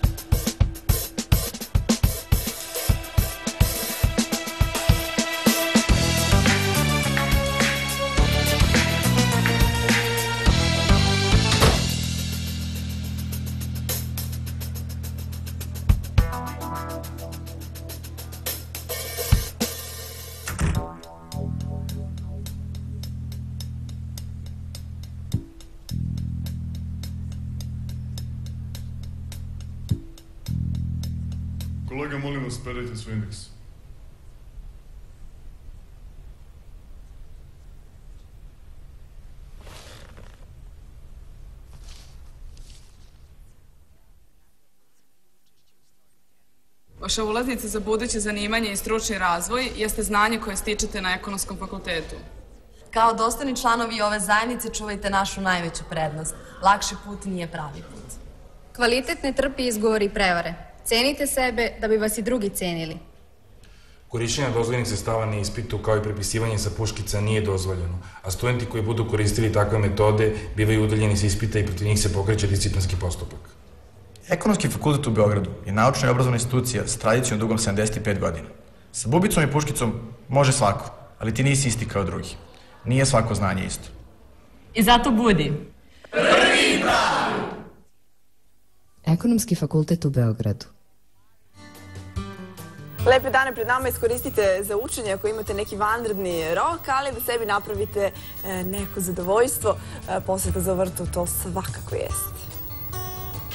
Sajt se oslanja isključivo na ocene korisnika. Ove godine Beogradski Zobrt zaslužio je ocenu 4,5, što je naš vrt dobre nade svrstalo među pobednike kvaliteta u 2012. Beogradski Zoološki vrt je za nas nenadano dobio sertifikat za kvalitet za 2012. godinu. Za nas znači puno, jer je to sertifikat koji, je, koji su praktično dodelili posetioci Beograda nama za kvalitet. Iako je ocena visoka, nije savršena, ali Beogradski zoološki vrt se uvek trudi da pruži najbolju moguću brigu životinjama koje žive u njemu. Imamo ovaj, loš zamerkine, na primjer kaveze kod medveda, koji su inače iz 1936. godine i negde su predviđeni za rekonstrukcijno mesto koje je bilo naj, dobilo najgore ocene. Mi smo ove godine sravnili sa zemljom. To je naša takozvana rupa stari kavezi za medvede lavovi koji su bili neuslovni i mali i tu će da nikne jedan lep ptiči grad za ptice grabljivice. Za ovako visoku ocenu, osim brige i ljubavi koje zaposleni u Zovrtu pružaju životinjama, zaslužne su i čuvene bele životinje. Stranim turistima se ovde najviše dopada onima koji su prepoznali tu koncepciju našu belog grada i belih životinja i mnogo im se sviđa kolekcija belih životinja koje imamo. E, sviđa im se to što idemo nekako u korak sa vremenom i bez obzira što komentarišu kako nam ipak mali vrt, e, da se trudimo da obezbedimo onakve uslove kakve kakve životinje zaslužuju i to negde oni vide i samim tim ističu svojim komentarima. Ako imate vremena i ne znate kako da provedete ove poslednje lepe dane, poseta vrtu Dobre Nade može biti idealno mesto za opuštanje i uživanje u životinskom carstvu u centru Beograda. Za fakultetski obrazovane, a nezaposlene pripadnice lepšeg pola na elektrotehničkom fakultetu u Beogradu biće organizovana obuka iz oblasti informacijonih pardon, tehnologija i umrežavanja. Kako je navedeno u saopštenju, Cisco Srbija prijavljivanje zainteresovanih kandidatkinja za besplatne treninge, čiji je cilj da im olakšaju pronalaženje novog posla, počela je i trajeće sve do 17. oktobra. Polaznice će u okviru projekta koji se inače organizuje peti put imati priliku da steknu veštine poslovne komunikacije, pisanje biografije, simulaciju intervjua za posao, pa čak i web marketing podaci e, govore da je do sada više od 50 žena koje su učestvovale u ovom projektu uspelo da pronađe novi posao. A za one koji posao nemaju, najbolja vest bi bila svakako da ga pronađu. Dok takve vesti ne stignu, poslužit će i ove koje smo mi pronašli za dobro jutro.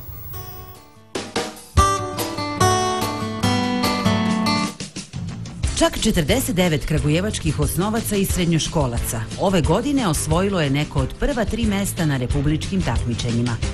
Kragujevački najtalentovaniji đaci u ovoj dečijoj nedelji dobili su pohvale, priznanja i nagrade. Radili su vredno skoro godinu dana, ali se isplatilo. Učitelji, nastavnici, roditelji, đaci, ali i gradski zvaničnici sastali su se u gradskoj kući da najboljima uruče nagrade. Talenti mladih Kragujevčana su različiti od matematike, hemije, biologije pa do engleskog i srpskog jezika i književnosti. Ipak jedno je sigurno, svi rade ono što vole. Neopterećeni materijalnim stvarima i bez pritiska, mladi učenici rastu u možda velike naučnike. Ako nešto ne znaju, pitaju one koji znaju više i trude se da svakoga dana napreduju. U Leskovcu je otvorena dvodnevna konferencija arheologa i istoričara iz desetak zemalja povodom veka od iskopavanja arheološkog lokaliteta Justinijana Prima poznatije kao Caričin grad. Pored srpskih, skupu u Narodnom muzeju pod nazivom Rano Vizantijski grad i društvo prisustvuju i vizantolozi iz Amerike, Španije, Nemačke, Grčke, Rumunije, Kipra, Mađarske i Slovenije. Centralna tema je Caričin grad, njegovo mesto i uloga u rano vizantijskoj civilizaciji. Iskopavanje na Caričinom gradu započeo je pre 100 godina Vladimir Petković, koji je šokirao javnost tvrdnjom da se radi o gradu koji je u blizini svog rodnog mesta sagradio rimski imperator Justinijan I. To otkriće i danas u pojedinim naučnim krugovima se osporava, jer još nije pronađena ploča sa imenom grada. Caričin grad podignut je 535. godine nove ere, a napušten 80 godina kasnije. Opšta bolnica dr. Aleksa Savić obezbedila je iz Vrnjačke banje tonu i po peloida, to jest lekovitog blata za fizikalnu službu. Reč je o godišnjim potrebama ove službe koja pruža sve tretmane koji se koriste u banjskom lečenju. Blato se dobije u vidu zrna kao tifozelin i u vidu praha zeolit. Obično se koristi u banjama, ali ga zbog odličnog zdravstvenog efekta opšta bolnica koristi već godinama. Opština Vlasotince je uz pomoć e, sredstava iz programa P-Build uvela sistem video nadzora najprometnijih mesta kako bi povećala bezbednost građana i njihove imovine. Pripadnici policije u Vlasotincu 24 sata imaju uvid u sve što se dešava na glavnoj ulici u dužini od skoro jednog kilometra. Video nadzor na ulicama gradova u Srbiji deo je projekta Siguran život u bezbednom gradu, koji je u Vlasotincu sa oko milion dinara podržao program P-Build. Opština Vlasotince je sistem video nadzora prepoznala kao najpotrebniji, jer se njime povećava bezbednost velikog broja ljudi.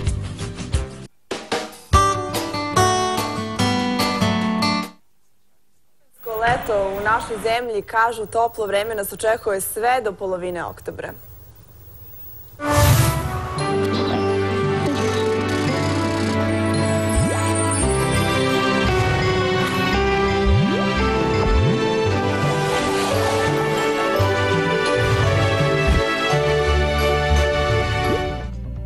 U Srbiji u petak jutro sveže, u kotlinama i dolinama maglovito. Tokom dana sunčano i toplo, duvaće slab do umeren severozapadni vetar. Minimalna temperatura od 6 do 14, a maksimalna dnevna od 23 do 27 stepeni. U subotu sunčano i veoma toplo sa maksimalnom temperaturom do 29 stepeni. U nedelju na oblačenje sa kišom i pljuskovima, ponegde i sa grmljavinom.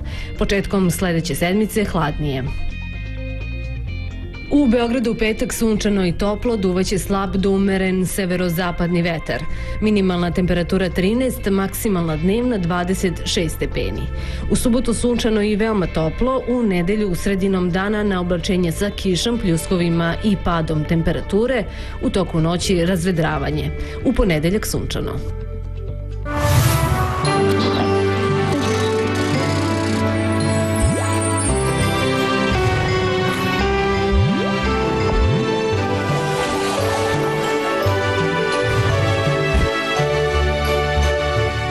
Nedelje zadržat će se prijatno, sunčano i toplo vreme sa maksimalnom temperaturom u subotu u većini mesta Srbije i do 30 stepeni. U nedelju toku dana očekuje se promjena vremena u smislu pada temperature, lokalne pojave kiše ili pljuskova, tako da bi početak naredne sedmice bio znatno svežiji nego ovaj period koji je za nama.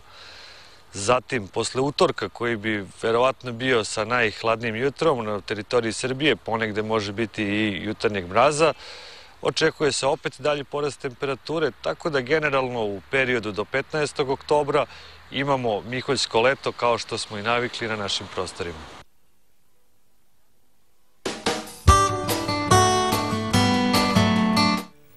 Još jedno znanje na poklon na srećnoj televiziji narednog e, vikenda. Zaharije Trnačević je gost domaćin. Šta nas očeka ovog vikenda u premijernom izdanju? To će nam on otkriti. Dobro, dobro jutro e, i dobro Dobro jutro, dobro jutro. Gledao sam program za jutarnji program, kako se zove.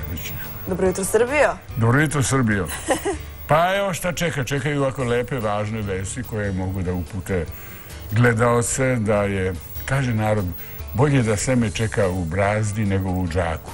Znači, setva pšenice je počela, obično to baš na današnji dan od 5. oktobra, ali ljudi već su počeli da seju 3. oktobra, jer ne kiše nema te nema, pa onda bolje da to seme bude, kako narod kaže, u brazdi. I mi ih savjetujemo da ovu setvu obave tako da iduće leta 2013. godine imamo rod koji će da pokrije ove gubitke koje su imali ove 2000 sušne, 12. godine, sušne godine koje ćemo pamtiti. Nadamo se da se neće ponoviti uskoro. Pa neće se ponoviti. Meteorološke statistike pokazuju da se ne događaju dve uzastopno katastrofalne. Ovo je bila skoro katastrofalna godina.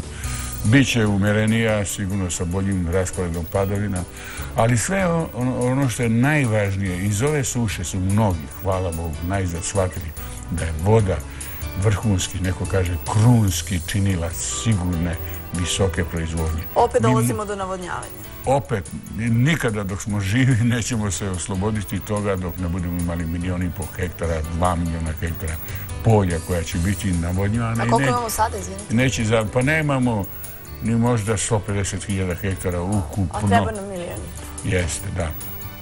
Pokazat ćemo recimo ljude kao što je Mile Vujović iz sela Trnava Kočačka koji je uz pomoć naravno budžeta Srbije iskopao jedan bunar. Ja ne znam da li ima tu slike koje je e, spremljena i koja će gledalci u nedlju da vide, iskopao je, našao je vodu na 90 metra ovaj, dubine i zaliva voćnjak. I Mile Bujović uopšte ne žali se na sušu. Svi oni koji su zalivali ovoga leta, ne samo bašte, nego voćnjake, pa i kukuruz, kao što smo pokazivali u našim emisijama ili soju, imaju normalan rod i pošto su cene porasle, imaju osetno veći prihod. Voda je, mi ponavljamo u emisiji, najisplativija investicija. Prvo znanje po isplativosti, pa onda voda. Ulagati u vodu, u sisteme za, za zalivanje, isplati se već posle godinu, godinu i po dana najdalje. A onda iza toga imate dobar prihod, zaradu. Siguran prihod, što je ono što je najbitnije. Apsolutno, da, ne zavise više od neba od da će pasti kiša i prilika i tako dalje. neprilika, je li tako? A recite mi, evo stiže nam sada zima, mnogi kažu, još to nije sada zvanično sve, da, Da. će biti veoma hladna. Da li to može da utiče i u kojoj Pa meri znate na šta, ova prošla zima je uticala, evo juče sam bio na sajmu meda i to ćemo pokazati gledalcima. E, broj pče, pčelinji društva u ovoj zemlji je strahovito mali. Samo pola procenta pčelinje paše se e, iskoriste pčele. Znate koje su mogućnosti da ljudi zarade držeći pčele, košnice, imali bi lepe prihode. Sa 300 košnica jedna porodica, čak od sedam, znači otac, majka, sinovi i unuci mogu da žive ako imaju 300 košnica. A te pčelinje paše ima dosta. E, ova zima prošla u zimu između 2011. i 2012. godine bila je toliko oštra da je donela štete izmrzo je bagrem i nije bilo cveta. A onda se još toga kasnije, kad je i procvetalo ono što je preživjelo, pala je kiša i tako da je pčelinja paša... E, na to sada ne možemo da utičemo tako na zimu koja će doći. Naravno, ne mož, mi, mi ne možemo da utičemo ni na šta, možemo recimo da pokvarimo možda sa tom takozvanom staklenom baštom i spuštanjem ugljen dioksida i tako dalje, ali možemo i moramo da se prilagođavamo onakim vremenskim prilikama kakve jesu. Jeste, a naravno. to je da tu vodu i od zimskih i proletnih padavina sačuvamo u malim jezerima, pa onda leti i ispuštamo. Jer jedna, dva zalivanja su dovoljna da izbegnemo štetu. Navodnjanje u ostalom je korekcija ispravka zaboravnog neba Svetog Ilije koji ne odvrne slavinu kada treba. Na vreme. Da. Dobro, Zahari, recite mi, u posljednje vreme se mnogo pažnje posvećuje genetski modifikovanim namirnicama. Jel to treba tako ili ne? E pa odmah da vi ispravim, Tijana, ovaj, mnogo se pažnje posvećuje, ali ne u emisiji Znanje na poklon. Mi se ne bavimo tom temom. Ne, pitala sam vas inače. Šta, koje je vaše mišljenje o tome? Da li je to... Sve ću vam reći. Dakle, ovako, genetski modifikovani organizmi u ukupnoj vrednosti poljoprivredne proizvode čine jedan od milion procenata. To je ovako zanemarljiva stvar. Zašto? U ovoj zemlji je to rešeno. Zabranjena je proizvodnja i širenje genetski modifikovanih organizama. To je prihvaćeno. Mi se okrećemo drugim važnijim stvarima, a to je kako da podignemo hektarski prinos. Evo, u nedlji ćemo govoriti o tome da naš hektarski prinos pšenice ne bude 3,5 tone, nego da bude 7 tona. Moguće. Duplo. Đubriju, moguće, draga i Tijana. I na tome radimo. Doće čovjek, gospodin doktor Hristov, da govorimo o tome. Dobro seme, posijano sad na vreme početkom oktobra sa dovoljno količine đubriva da biljka može da formira taj rod. Dakle, to je naš glavni problem, a ne genetski modifikovani organizmi. Ja sam bio u Sjedinim američkim državama i vrlo dobro sam upoznao i video sam i kako se stvaraju i nastaju genetski modifikovani organizmi. To nije nešto što povećava prinos, to je nešto što smanjuje troškove zaštite i zbog toga je stvoren ubačen, ubacen je jedan eh, gen, genom um, Bacilusa u onaj DNK lanac ovoga bilja i na taj način biljka je postala otporna na herbicide. Sve druge korovske biljke koje nemaju taj u DNK lancu taj genom ovaj, će da uginu, a ta soja, kukuruz i sve drugo postaće živo. Ta to nije zdravo. dozvolite, to uopšte e, nema osnova za strah da to može recimo da se na vas kao potrošača, recimo sojinog ulja i tako dalje, odrazi na neki način da vi dobijete brčiće, a ja malo veće grudi i tako dalje. Ozbiljno vam kažem, to je ozbiljna stvar. E, doktorka, mm, doktorka Stojišin iz e, Monsanta u St. Louisu bila je gost u emisiji Znanje na poklon i sa njom smo razgovarali Duška. jedna divna, draga, pametna, inteligentna naša stvarno je ovaj, sada zaposlena. Ona kaže da u Sjedinim američkim državama niko ne zazire od sojinog ulja. Tamo se ne jede suncokretovo, nego sojino ulje. Niko ne strahuje da će njihova deca, recimo jednog dana, da dožive neke mutacije, kakve su neželjene, narod i tako dalje. Ali je to, eto, postala jedna, postoji jedna jaka, kako to kažem, sumnja u nekim naučnim krugovima i Evropska unija je za sada ima jedan negativan stav prema tome. Ja kao novinar, zato što sam bio u Sjedinim američkim državama tri nedelje, ja sam shvatio u čemu je ovaj, poenta, stvaranje genetski modifikovanih organizama. Nikad se tom temom nisam bavio kao recimo sa nekom pretećom opasnosti koja se nadvila nad nas. Mi imamo daleko preča i važnija posla. To je prvo. Da navodnjamo, da spremimo dobro seme, dovoljno đubriva, da pšenicu posle sete povaljamo, da u leto navodnjamo, da posejemo, posadimo ovoga, ove jeseni guste plantaže jabuke koje rađaju i to će se vidjeti u emisiji 70 tona po hektaru lepi plodova koje ćemo da izvozimo u Evropsku. Mi se bavimo, jesam vam to rekao? Jeste, jeste. da Srbija postane bašta Evrope. To Biće. je naši, molim? Biće. Biće i 100%. mora i kada to bude, onda ćemo biti jedna bogata zemlja, kao da imamo recimo izvore nafte. Smo na dobrom putu. Apsolutno, samo je pitanje brzine kojom ćemo mi da to postignemo. Jel nećemo čirom? Sigurno. Nećemo čirom i to zavisi od toga kakav će biti budžet za 2013. i sledeće godine. I da li će Srbija da uzme, to je naš predlog, moj predlog, jedan veliki zajem od Svetske banke da gradimo brže zalivna polja i tako dalje. To je tema koju mi moramo se bavimo, nažalost to drugi moje kolege, novinari, ne bave, nego jašu tu jednu ragu koja se zove GMO i to ako malo odgovara i golica pažnji onih ovako uplašnih ljudi koji od svega, koji vole te senzacije i tako dalje. Ali da se nadamo da će biti sve bolje, da ćemo krupnim koracima zagaziti napred. Apsolutno. Evo, ako vi, Srbija ovoga časa nema, ali dobit će, do kraja ove godine će dobiti strategiju, trasu, kako će srpska, kako srpska poljoprivreda može da se razvija da stigne na nivo Evropske unije. Jer, Tijana i gledalci neka upamte, ako mi u Srbiji budemo radili kao u Holandiji, Nemačkoj, u Evropskoj uniji, mi ćemo i živeti kao oni. Jer dobar život počiva na visokoj produktivnosti. Ta produktivnost kod nas je, nažalost, još niska. A imamo divne uslove, imamo sunca, imamo mnogo vode, potencijala da budemo jeste, imamo divne, divne ljude koji vole taj i veruju taj svoj poljoprivredni posao i mi ih u tome podržavamo. Hvala vam mnogo, Zaharije, što ste gostovali ovoga jutra kod nas. E, već e, vi ste na programu Nedelja pola osam, pola našeg jutarnjeg programa. E da, oni koji budu gledali emisiju moći će da učestvuju u nekoj nagradnoj igri, dobit će seme stočnog graška koje je bogato proteinima, možda i seme pšenice. Isplati se gledati našu emisiju. Dakle, nedelja Na, Em naučite i dobijete neku nagradu. Hvala vam najljepše, Zaharije. A mi imamo jednu dobru vest, a to je vest da se pod okrilje naše zemlje vraća trostruko olimpijska šampionka u kajaku Nataša Janić-Dušev. Kaže da je od uvek želela da se vrati i da brani boje naše zemlje. Nataša je rekla da je posle olimpijskih igara u Londonu razgovarala sa predsjednikom Olimpijskog komiteta Srbije Vladom Divcem i odlučila da se vrati u domovinu. Nova stara reprezentativka Srbije u kajaku je istakla da još ne razmišlja o narednim olimpijskim igrama. E, mogu da kažem da sam e, mnogo srećna da e, imam šansu da se vratim u svoju rođenu e, državu.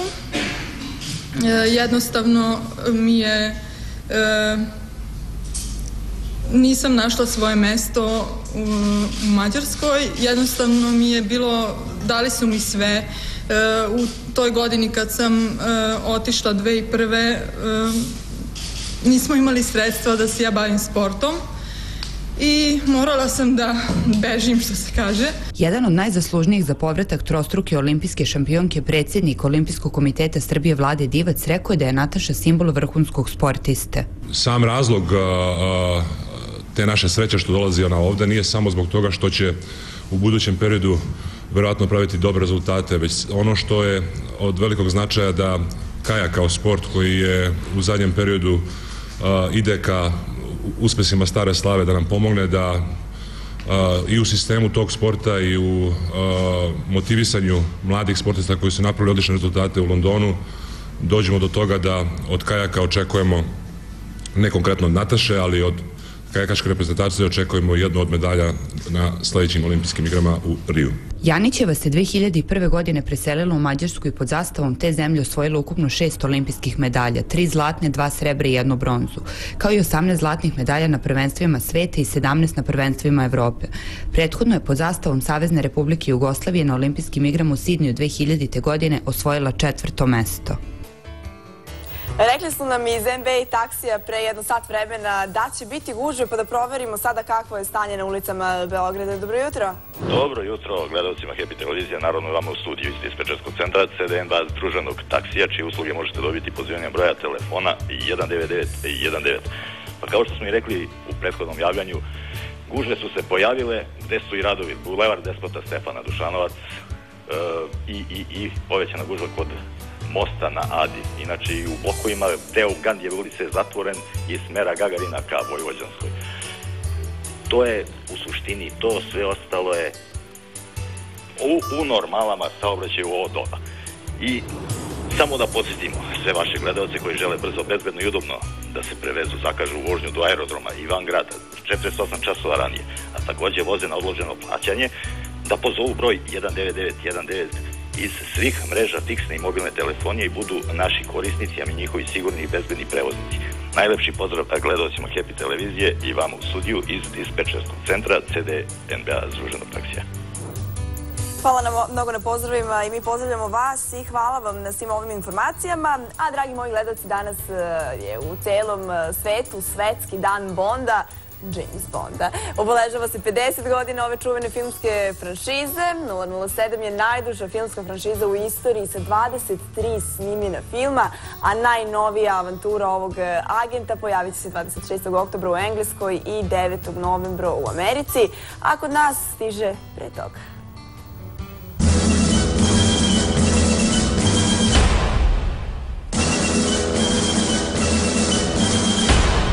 The name's Bond.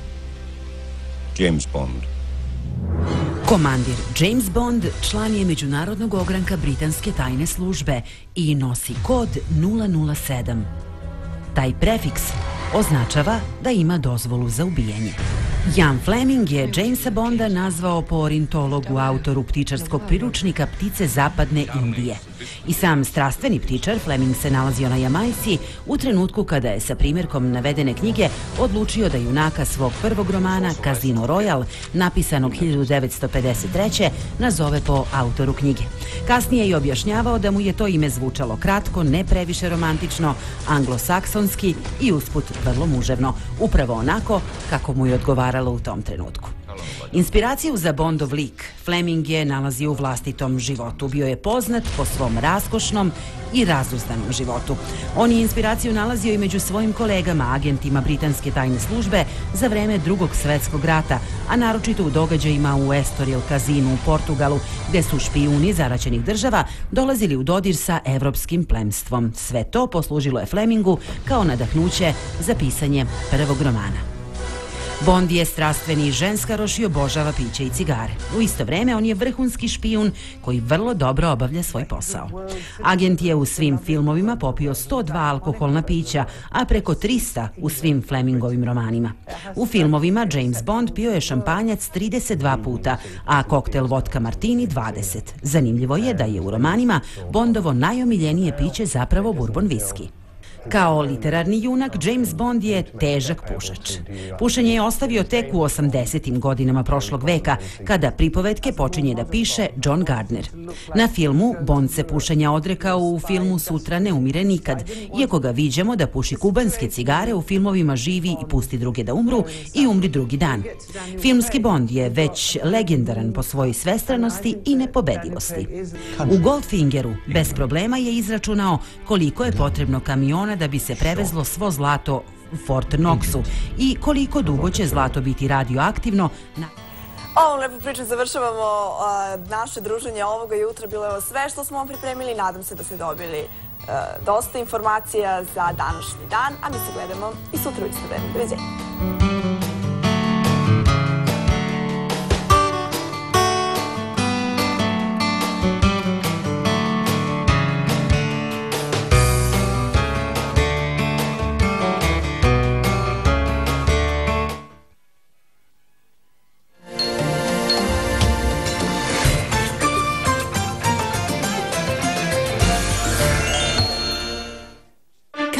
Kečap najviše volite? Mi volimo s puno paradajza. Baš takav ste tražili. Novi Vital Tomato Ketchup. Vrlo paradajzičan.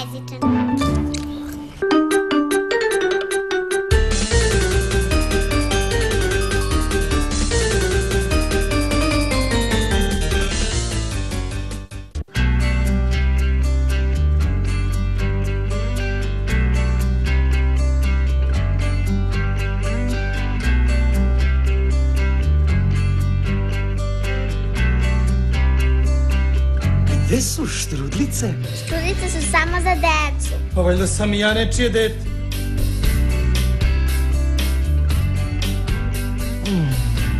Baka pravi najbolje štrudlice.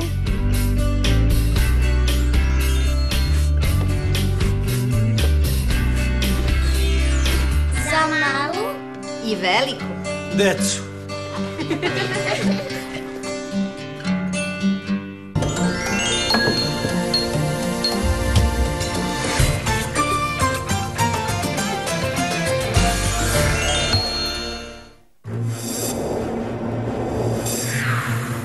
možda zvučati čudno, ali jednoga dana ceo moj svet se promenio. Sa neba su počele da padaju karte, padale su kao kiša.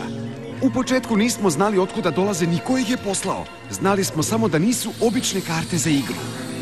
Isto se događalo po celom svetu.